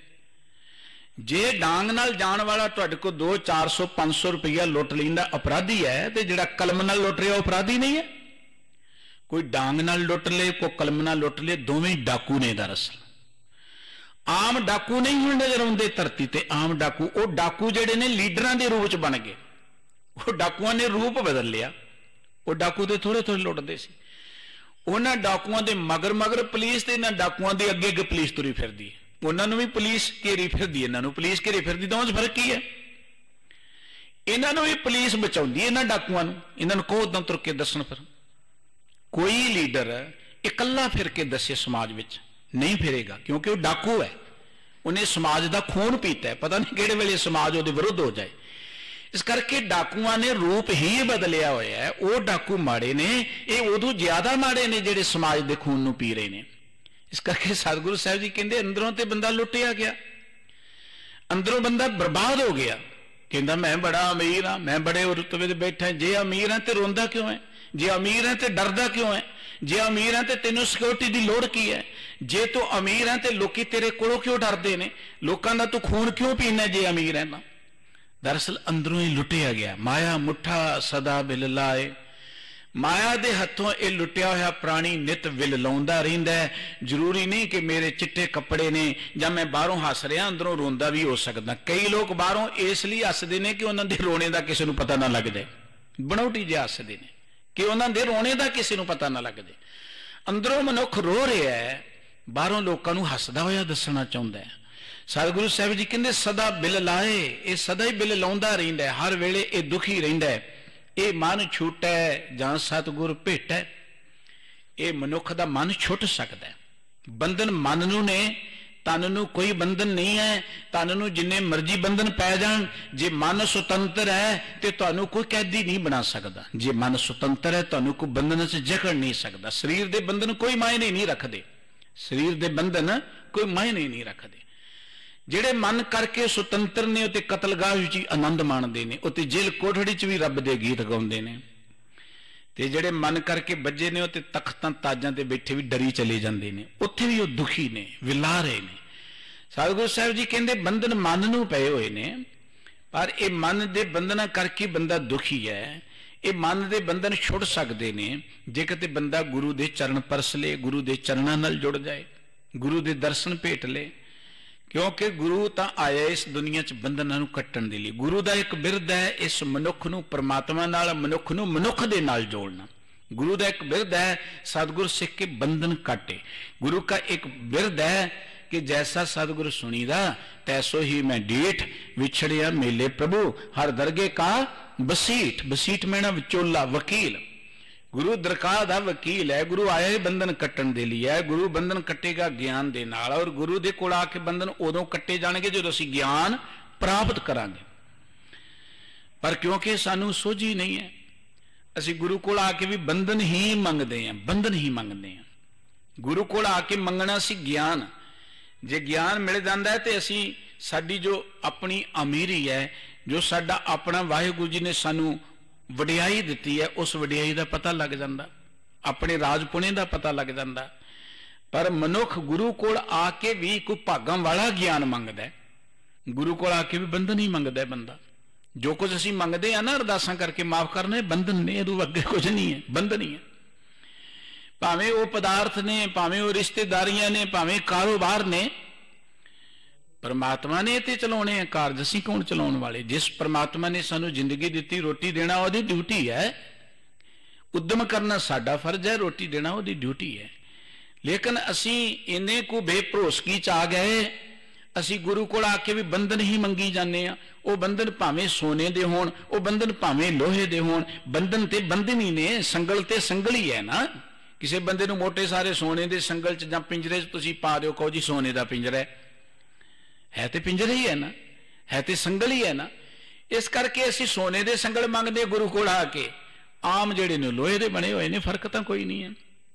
ਸਤਿਗੁਰੂ ਜੀ ਕਹਿੰਦੇ, ਮਨ ਛੁੱਟ ਸਕਦਾ ਹੈ ਜੇ ਬੰਦਾ ਗੁਰੂ ਦੇ ਦਰਸ਼ਨ ਭੇਟ ਲੇ। ਗੁਰੂ ਦੇ ਦਰਸ਼ਨ ਭੇਟਣ ਦਾ ਅਰਥ ਹੈ ਕਿ ਮਨੁੱਖ ਦੀ ਸੁਰਤ ਗੁਰੂ ਕੇ ਸ਼ਬਦ ਨਾਲ ਜੁੜ ਦੇ। ਗੁਰੂ ਦਾ ਗਿਆਨ ਮਨੁੱਖ ਦੇ ਅੰਦਰ ਵਸ ਜਾਏ। ਜਦੋਂ ਮਨੁੱਖ ਗੁਰੂ ਕੇ ਦਰਸ਼ਨ ਭੇਟ ਲੇਗਾ ਜਮ ਕਾਲ ਕੀ ਫਿਰ ਆਵੇ ਨਾ ਫੇਟੈ। ਜਮ ਕਾਲ। ਜਮ ਕਾਲ ਇਸ ਜ਼ਿੰਦਗੀ ਤੋਂ ਬਾਅਦ ਹੈ ਜਾਂ ਨਹੀਂ ਹੈ ਉਸ ਚਰਚਾ 'ਚ ਅਸੀਂ ਨਹੀਂ ਪੈਂਦੇ। ਜਿਉਂਦੇ ਜੀ ਸਾਨੂੰ ਵਿਆਪ ਰਿਹਾ ਜਮ ਕਾਲ। ਦੇਖੋ, ਆਤਮਿਕ ਮੌਤ ਜਿਉਂਦੇ ਜੀ ਹੁੰਦੀ ਹੈ। ਅਸੀਂ ਜਿਉਂਦੇ ਜੀ ਮਰੇ ਪਏ ਆ ਸਰੀਰ ਸਾਡਾ ਚੱਲਦਾ ਫਿਰਦਾ ਪਰ ਅੰਦਰੋਂ ਤੋਂ ਮਰੇ ਪਏ ਆ ਨਾ। ਬਸੰਤ ਦਾ ਸਾਡੇ ਤੇ ਅਸਰ ਕੋਈ ਨਹੀਂ। ਮਰੇ ਬੰਦੇ ਤੇ ਬਸੰਤ ਦਾ ਕੋਈ ਅਸਰ ਨਹੀਂ ਹੈ। ਅਸੀਂ ਅੰਦਰੋਂ ਮਰੇ ਪਏ ਆ ਸੁੱਕੇ ਪਏ ਆ ਜਮ ਕਾਲ ਦਾ ਅਰਥ ਹੈ ਆਤਮਿਕ ਮੌਤ। ਸਤਿਗੁਰੂ ਜੀ ਕਹਿੰਦੇ, ਜਦੋਂ ਬੰਦਾ ਗੁਰੂ ਦੇ ਸ਼ਬਦ ਨਾਲ ਜੁੜ ਜਾਏ, ਕਿਉਂਕਿ ਗੁਰੂ ਸਰੀਰ ਹੈ ਹੀ ਨਹੀਂ ਹੈ, ਗੁਰੂ ਸ਼ਬਦ ਹੈ। ਸ਼ਬਦ ਗੁਰੂ ਸੁਰਤ ਤੋਂ ਚੇਲਾ। ਤੇ ਸ਼ਬਦ ਗੁਰੂ ਦੇ ਦਰਸ਼ਨ ਇਹਨਾਂ ਅੱਖਾਂ ਨਾਲ ਨਹੀਂ ਹੋਣੇ। ਸ਼ਬਦ ਗੁਰੂ ਦੇ ਦਰਸ਼ਨ ਹੋਣੇ ਨੇ, ਲੋਇਣ ਸੁਰਤ ਕਰੇ, ਸੁਰਤ ਦੀਆਂ ਅੱਖਾਂ ਦੇ ਨਾਲ। ਗੁਰੂ ਦੇ ਦਰਸ਼ਨ ਭੇਟੇ ਜਾਣੇ ਨੇ ਸੁਰਤ ਦੇ ਨਾਲ। ਇਸ ਕਰਕੇ ਸ਼ਬਦ ਗੁਰੂ ਵਿੱਚ ਜਦੋਂ ਸੁਰਤ ਜੁੜ ਗਈ ਜਮ ਕਾਲ ਕੀ ਫਿਰ ਆਵੇ ਨਾ ਫੇਟੈ? ਫਿਰ ਇਹ ਆਤਮਿਕ ਮੌਤ ਤੇ ਤੁਹਾਨੂੰ ਫੇਟ ਮਾਰ ਹੀ ਨਹੀਂ ਸਕਦੀ, ਤੁਹਾਡੇ ਦਾ ਸਿਰ ਪਾ ਹੀ ਨਹੀਂ ਸਕਦੀ। ਭਾਵ ਤੁਸੀਂ ਆਤਮਿਕ ਤੌਰ ਤੇ ਜਿਉਂਦੇ ਹੋ ਜਾਓਗੇ। ਤੁਹਾਡੀ ਜ਼ਮੀਰ ਜਾਗਦੀ ਰਹੇਗੀ। ਤੁਸੀਂ ਅੰਦਰੋਂ ਮਰੋਗੇ ਨਹੀਂ, ਅੰਦਰੋਂ ਸਦੀਵੀ ਤੌਰ ਤੇ ਜਿਉਂਦੇ ਹੋ ਜਾਓਗੇ। ਇਹ ਮਨ ਛੂਟਾ ਗੁਰਲੀਆ ਛਡਾਏ। ਸਤਿਗੁਰੂ ਸਾਹਿਬ ਜੀ ਕਹਿੰਦੇ, ਮਨੁੱਖ ਦਾ ਇਹ ਮਨ ਛੁੱਟ ਜਾਂਦਾ ਹੈ ਜਦੋਂ ਗੁਰੂ ਇਹਨੂੰ ਛਡਾ ਸਕਦਾ ਦਲਦਲ ਵਿੱਚ ਫਸਿਆ ਬੰਦਾ ਆਪਣੇ ਯਤਨ ਨਾਲ ਨਹੀਂ ਬਾਹਰ ਨਿਕਲ ਸਕਦਾ। ਮਾਇਆ ਦੇ ਮੋਹ ਵਿੱਚ ਖਚਤ ਬੰਦਾ ਆਪਣੇ ਯਤਨ ਨਾਲ ਬਾਹਰ ਨਹੀਂ ਨਿਕਲ ਸਕਦਾ। ਜਿੰਨੇ ਮਰਜ਼ੀ ਉਹ ਧਾਰਮਿਕ ਕਰਮ ਕਰ ਲੇ।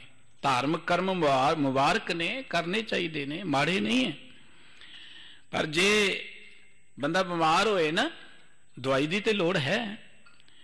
ਪਰ ਦਵਾਈ ਡਾਕਟਰ ਦੀ ਰਹਿਣ ਨਾਲ ਖਾਦੀ ਜੇ ਤਾਂ ਲੋੜ ਹੈ। ਤੇ ਜੇ ਬੰਦਾ ਆਪ ਹੀ ਕਿ ਚਲੋ ਕੈਮਿਸਟ ਕੋ ਲੈ ਕੇ ਖਾ ਲਈ ਨੇ ਤੇ ਉਹ ਠੀਕ ਹੈ, ਕਿਤੇ ਕੰਮ ਚੱਲ ਜਾਂਦਾ ਨਹੀਂ ਤੇ ਜ਼ਿਆਦਾਤਰ ਹਾਨੀਕਾਰਕ ਹੁੰਦੀ ਹੈ। ਬਿਲਕੁਲ ਇਸੇ ਤਰੀਕੇ ਨਾਲ ਧਰਮ ਦੀ ਦੁਨੀਆ ਦੇ ਅੰਦਰ ਮਨੁੱਖ ਮਨ ਮਰਜ਼ੀ ਦੇ ਨਾਲ ਧਰਮ ਕਰਨਾ ਚਾਹੁੰਦਾ ਉਹ ਧਰਮ ਵੀ ਆਪਣੀ ਮਰਜ਼ੀ ਦਾ ਚਾਹੁੰਦਾ ਮਨੁੱਖ ਧਰਮ ਵੀ ਆਪਣੀ ਮਰਜ਼ੀ ਦਾ ਚਾਹੁੰਦਾ ਦੇਖੋ, ਅਸੀਂ ਸੁਣਨਾ ਵੀ ਆਪਣੀ ਮਰਜ਼ੀ ਦਾ ਚਾਹੁੰਦੇ ਆ ਕਿ ਅਸੀਂ ਉਹ ਕੋ ਸੁਣੀਏ ਜੋ ਸਾਨੂੰ ਚੰਗਾ ਲੱਗਦਾ ਜੋ ਚੰਗਾ ਨਾ ਲੱਗੇ, ਉਹਨੂੰ ਅਸੀਂ ਸੁਣਨਾ ਹੀ ਨਹੀਂ ਚਾਹੁੰਦੇ। ਇੱਕ ਹਿੰਦੂ ਜਿਹੜਾ ਉਹ ਕਹਿੰਦਾ ਕਿ ਹਿੰਦੂ ਵਾਲੀ ਗੱਲ ਸੁਣਨਾ ਚਾਹੁੰਦਾ ਮੈਂ। ਮੁਸਲਮਾਨ ਮੁਸਲਮਾਨ ਵਾਲੀ ਹੀ ਗੱਲ ਸੁਣਨਾ ਚਾਹੁੰਦਾ ਹੈ। ਸਿੱਖ ਸਿੱਖ ਵਾਲੀ ਹੀ ਗੱਲ ਸੁਣਨਾ ਚਾਹੁੰਦਾ ਹੈ। ਤੇ ਸਿੱਖ ਤੋਂ ਬਾਅਦ ਫਿਰ ਗੱਲ ਆ ਜਾਂਦੀ ਹੈ ਕਿ ਇਹ ਗੱਲ ਮੇਰੀ ਮਰਜ਼ੀ ਦੀ ਹੋਣੀ ਚਾਹੀਦੀ ਇੱਕ ਸੰਪਰਦਾਵਾਂ ਨਾਲ ਜੁੜਿਆ ਸੰਪਰਦਾਈ ਨੂੰ ਹੀ ਸੁਣ ਕੇ ਖੁਸ਼ ਹੈ, ਦੂਜੇ ਨੂੰ ਸੁਣਨਾ ਨਹੀਂ ਚਾਹੁੰਦਾ। ਇੱਕ ਹੋਰ ਦੂਜੇ ਖਿਆਲਾਂ ਵਾਲਾ ਜਿਹੜਾ ਉਹਨਾਂ ਨੂੰ ਹੀ ਸੁਣਨਾ ਚਾਹੁੰਦਾ, ਦੂਜਿਆਂ ਨੂੰ ਨਹੀਂ ਸੁਣਨਾ ਚਾਹੁੰਦਾ। ਇਹ ਵੀ ਤਾਂ ਇੱਕ ਬੰਧਨ ਬਣ ਗਿਆ ਨਾ। ਕਿ ਮੈਂ ਆਪਣੀ ਮਰਜ਼ੀ ਦਾ ਹੀ ਸੁਣਨਾ ਚਾਹੁੰਦਾ ਅਸੀਂ ਤੇ ਇੰਨੀ ਕੁ ਮਰਜ਼ੀ ਵਿੱਚ ਆ ਗਏ। ਗੁਰਦੁਆਰੇ ਆਉਨੇ ਆ ਉਹੀ ਕੁਝ ਸਾਨੂੰ ਵਧੀਆ ਲੱਗਦਾ ਜੋ ਸਾਡੀ ਮਰਜ਼ੀ ਦਾ ਹੋਏ। ਕਿਤੇ ਦੇਖਿਆ ਤੁਸੀਂ ਕੀਰਤਨ ਹੋ ਰਿਹਾ ਹੁੰਦਾ ਤੇ ਝੱਟ ਉੱਠ ਕੇ ਛੇਤੀ ਨਾਲ ਪਰਚੀ ਫੜਾ ਦਿੰਦੇ ਨੇ ਰਾਗੀਆਂ ਨੂੰ ਕਿ ਸਾਨੂੰ ਸੁਣਾਓ ਜੋ ਸਾਨੂੰ ਚੰਗਾ ਲੱਗਦਾ ਉਹ ਗੁਰਦੁਆਰੇ ਨਹੀਂ ਆਉਂਦੇ। ਉਹ ਆਪਣੇ ਹੰਕਾਰ ਨੂੰ ਪੱਠੇ ਪਾਉਣ ਲਈ ਆਉਂਦੇ ਨੇ ਕਿ ਅਸੀਂ ਕਿਹਾ ਤੇ ਸ਼ਬਦ ਚੱਲ ਗਿਆ ਜੀ, ਸਾਡੀ ਮਰਜ਼ੀ ਦਾ ਸੁਣਾਇਆ। ਬੰਦਾ ਬਾਣੀ ਵੀ ਆਪਣੀ ਮਰਜ਼ੀ ਦੀ ਸੁਣਨਾ ਚਾਹੁੰਦਾ ਹੈ ਹੈਰਾਨੀ ਦੀ ਗੱਲ। ਗੁਰੂ ਕੋਲ ਹੋ ਕੇ ਮਨਮਤ ਛੱਡਣੀ ਸੀ, ਲੇਕਿਨ ਅਸੀਂ ਮਨਮਤ ਨੂੰ ਪੱਠੇ ਪਾ ਕੇ ਤੇ ਬੜਾ ਫੁੱਲ ਕੇ ਅੱਗੇ ਜੋ ਕੇ ਬੈਨੇ ਲੋ ਜੀ, ਸਾਡੀ ਮਰਜ਼ੀ ਦਾ ਸੁਣਾਇਆ ਗਿਆ। ਇਹ ਤੇ ਬੰਧਨ ਬਣ ਗਿਆ ਧਰਮ। ਬੰਧਨ ਤਾਂ ਕੱਟਣ ਦੇ ਲਈ ਆਉਣਾ ਸੀ, ਮਨ ਮਰਜ਼ੀ ਨੂੰ ਮੇਟਣ ਦੇ ਲਈ ਆਉਣਾ ਸੀ। ਕਿਤੇ ਵਿਆਹ, ਵਾਹਿਗੁਰੂ ਜੀ ਦੀ ਬਖਸ਼ ਨਾਲ ਬੱਚਿਆਂ ਦਾ ਆ ਜਾਏ, ਘਰ ਦੇ ਕਹਿੰਦੇ ਰਮਾਲੇ ਵੀ ਸਾਡੀ ਮਰਜ਼ੀ ਦੇ ਲੱਗਣੇ ਚਾਹੀਦੇ ਨੇ, ਸਾਡੇ ਬੱਚਿਆਂ ਦੇ ਕੱਪੜੇ ਇਹੋ ਜਿਹੇ ਰਮਾਲੇ ਵੀ ਸਾਡੀ ਮਰਜ਼ੀ ਦੇ ਲੱਗਣੇ ਚਾਹੀਦੇ। ਆਏ ਅਸੀਂ ਗੁਰੂ ਦੀ ਅਸੀਸ ਲੈਣ ਲਈ। ਡੈਕੋਰੇਸ਼ਨ ਸਾਡੀ ਮਰਜ਼ੀ ਦੀ ਚਾਹੀਦੀ ਹੈ, ਕੱਪੜੇ ਸਾਡੀ ਮਰਜ਼ੀ ਦੇ ਚਾਹੀਦੇ ਨੇ, ਰਮਾਲੇ ਸਾਡੀ ਮਰਜ਼ੀ ਦੇ ਚਾਹੀਦੇ ਨੇ, ਰਾਗੀ ਸਾਡੀ ਮਰਜ਼ੀ ਦਾ ਚਾਹੀਦਾ ਕਮਾਲ ਦੀ ਗੱਲ ਹੈ। ਇਹ ਗੁਰੂ ਦੀ ਅਸੀਸ ਲੈਣ ਲਈ ਆ ਰਹੇ ਆਪਾਂ ਕਿ ਹੰਕਾਰ ਪ੍ਰਗਟ ਕਰ ਲਈ ਆ ਰਹੇ ਹਾਂ। ਅਸੀਂ ਤੇ ਇੰਨੇ ਕੁ ਬੰਧਨਾਂ ਵਿੱਚ ਫਸ ਗਏ, ਜਿੰਨਾਂ ਚੀਜ਼ਾਂ ਨੇ ਸਾਡੇ ਬੰਧਨ ਕੱਟਣੇ ਸੀ, ਉਹਨਾਂ ਨੂੰ ਹੀ ਬੰਧਨ ਬਣਾ ਲਿਆ ਸੀ।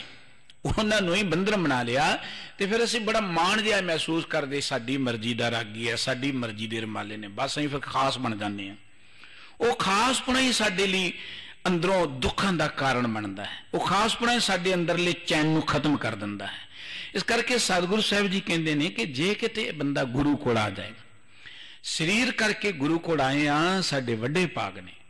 ਪਰ ਕੇਵਲ ਸਰੀਰ ਕਰਕੇ ਗੁਰੂ ਕੋਲ ਆਉਣ ਨਾਲ ਹੀ ਗੱਲ ਨਹੀਂ ਬਣਨੀ ਜੇ ਮਨ ਕਰਕੇ ਗੁਰੂ ਕੋਲ ਨਾ ਆਏ। ਗੁਰੂ ਕਲਗੀਧਰ ਪਾਤਸ਼ਾਹ ਜੀ ਦੀ ਜ਼ਿੰਦਗੀ ਦੀ ਇੱਕ ਕਥਾ ਹੈ, ਬਠਿੰਡੇ ਦੇ ਇਲਾਕੇ 'ਚ ਗਏ ਸਤਿਗੁਰੂ ਜੀ ਇੱਕ ਥਾਂ ਤੇ ਠਹਿਰੇ ਸਨ।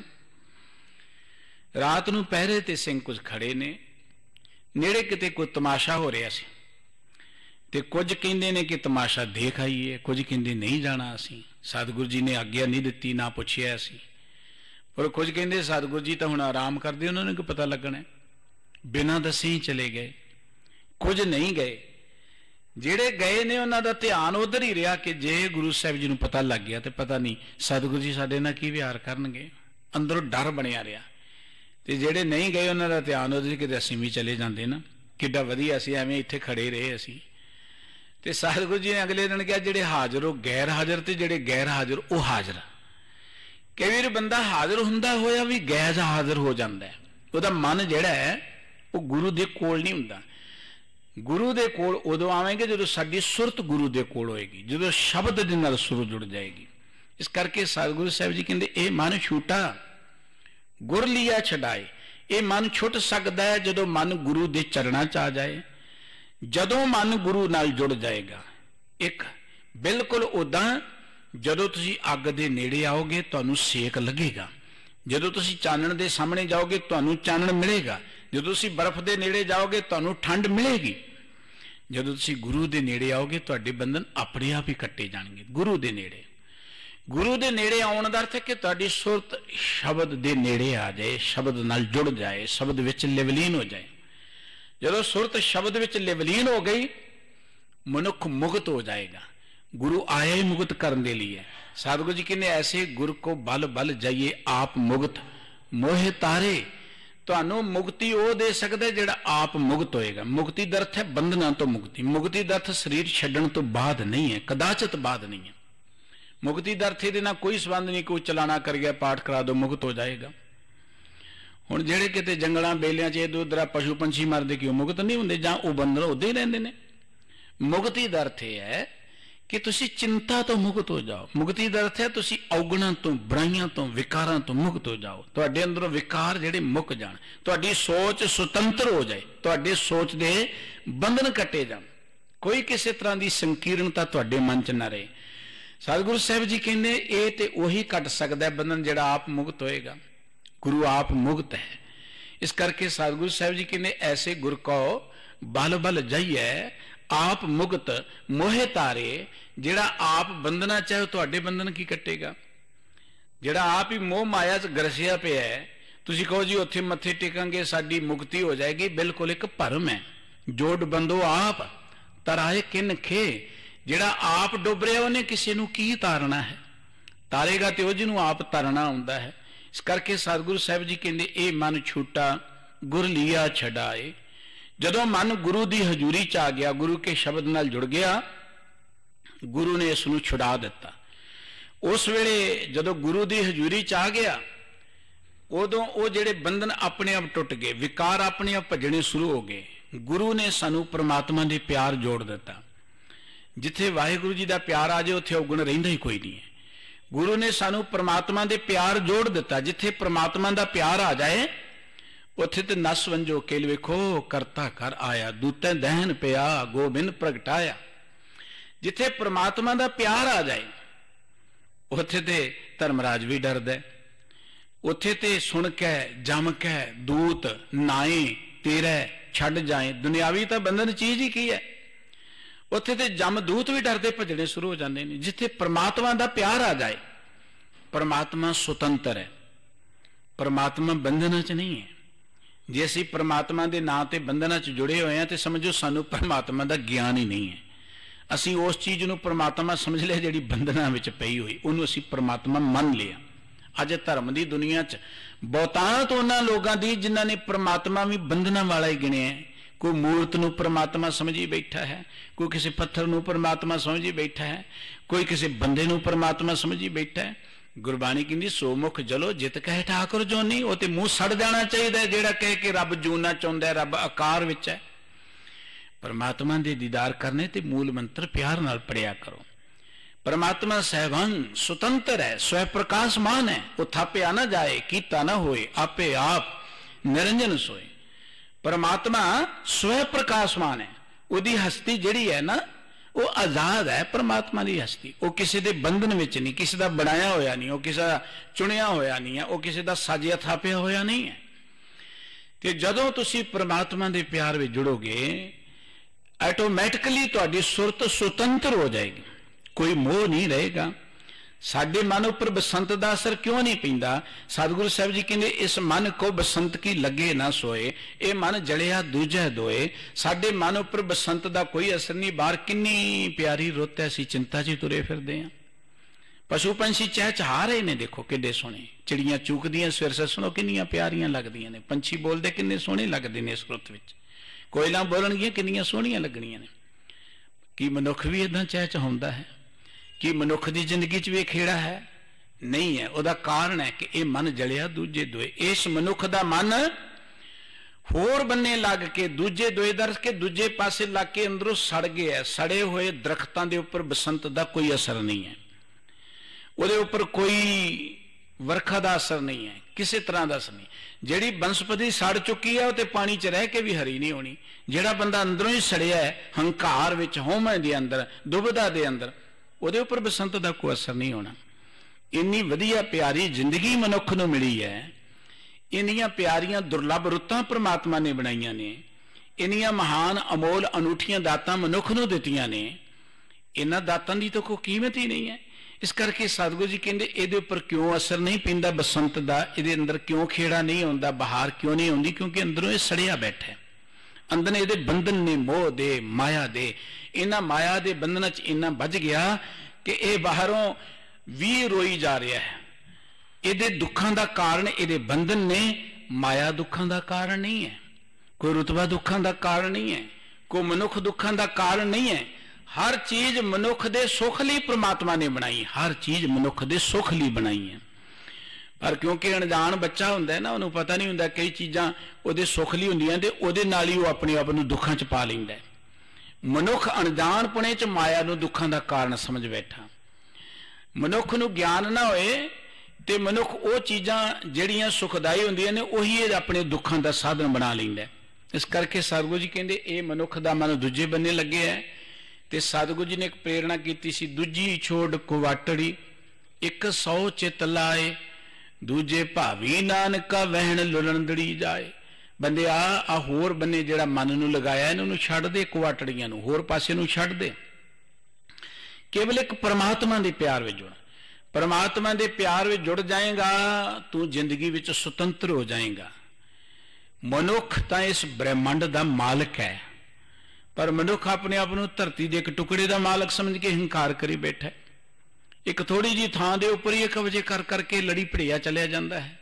ਮਨੁੱਖ ਧਰਤੀ ਦਾ ਹੀ ਨਹੀਂ ਬ੍ਰਹਿਮੰਡ ਦਾ ਮਾਲਕ ਹੈ। ਰਾਜਾ ਇਸ ਬ੍ਰਹਿਮੰਡ ਦਾ।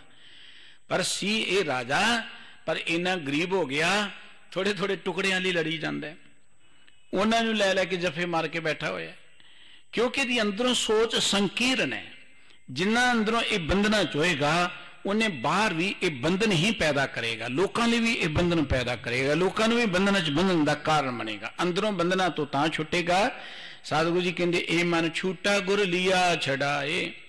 ਜਦੋਂ ਇਹ ਗੁਰੂ ਕੋਲ ਆਏਗਾ, ਗੁਰੂ ਆਪ ਇਹਨੂੰ ਬੰਧਨ ਤੋਂ ਮੁਕਤ ਕਰ ਲਏਗਾ। ਗੁਰੂ ਕਿਵੇਂ ਮੁਕਤ ਕਰੇਗਾ?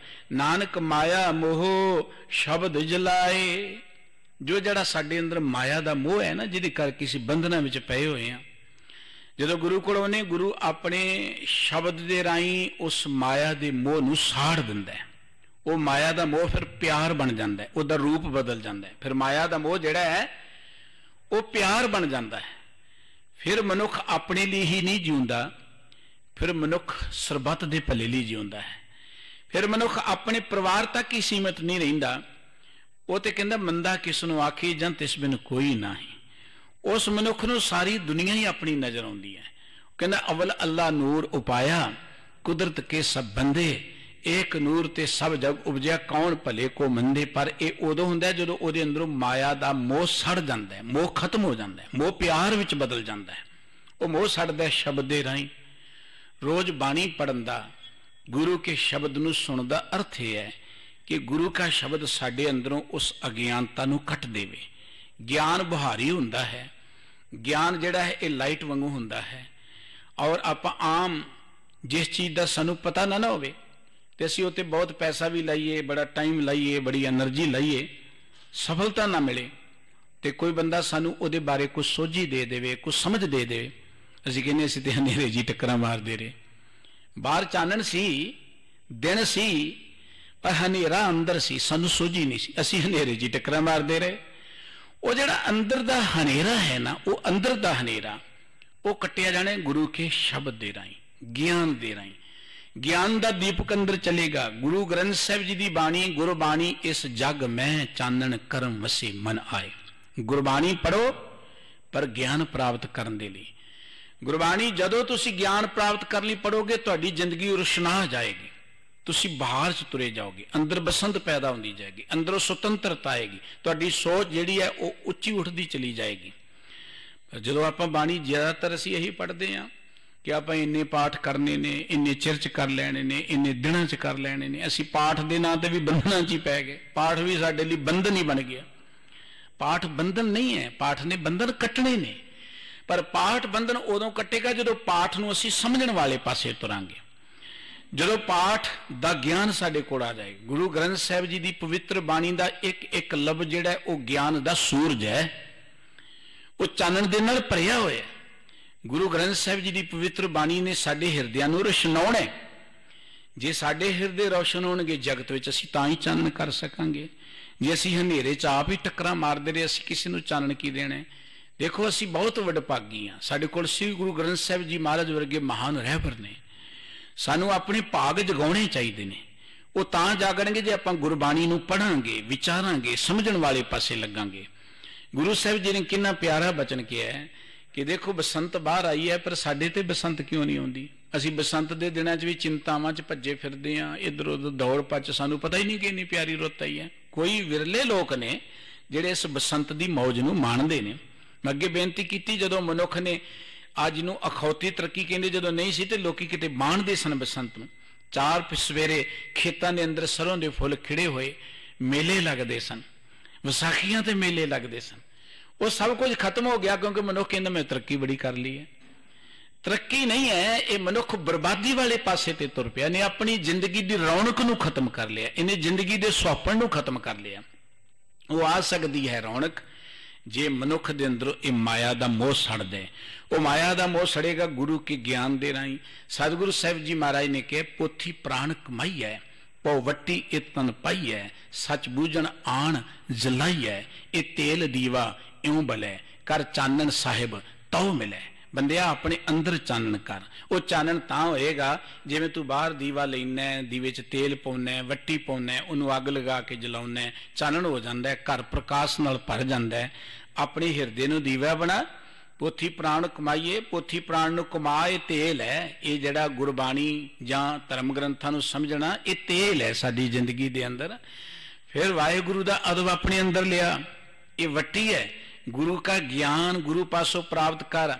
ਇਹਨੇ ਤੇਰੇ ਅੰਦਰਲੇ ਗਿਆਨ ਦੀ ਪ੍ਰਚੰਡ ਨੂੰ, ਅਗਨ ਨੂੰ ਪ੍ਰਚੰਡ ਕਰਨਾ ਹੈ। ਫਿਰ ਕੀ ਹੋਏਗਾ? ਕਰ ਚਾਨਣ ਸਾਹਿਬ ਤੋ ਮਿਲੇ। ਤੇਰੇ ਅੰਦਰ ਚਾਨਣ ਹੋ ਗਿਆ, ਤੈਨੂੰ ਪਰਮਾਤਮਾ ਮਿਲ ਜਾਏਗਾ। ਜਿਸ ਮਨੁੱਖ ਦੇ ਅੰਦਰ ਚਾਨਣ ਨੂੰ ਬਾਹਰ ਵੀ ਚਾਨਣ ਨਜ਼ਰ ਆਉਂਦਾ ਹੈ।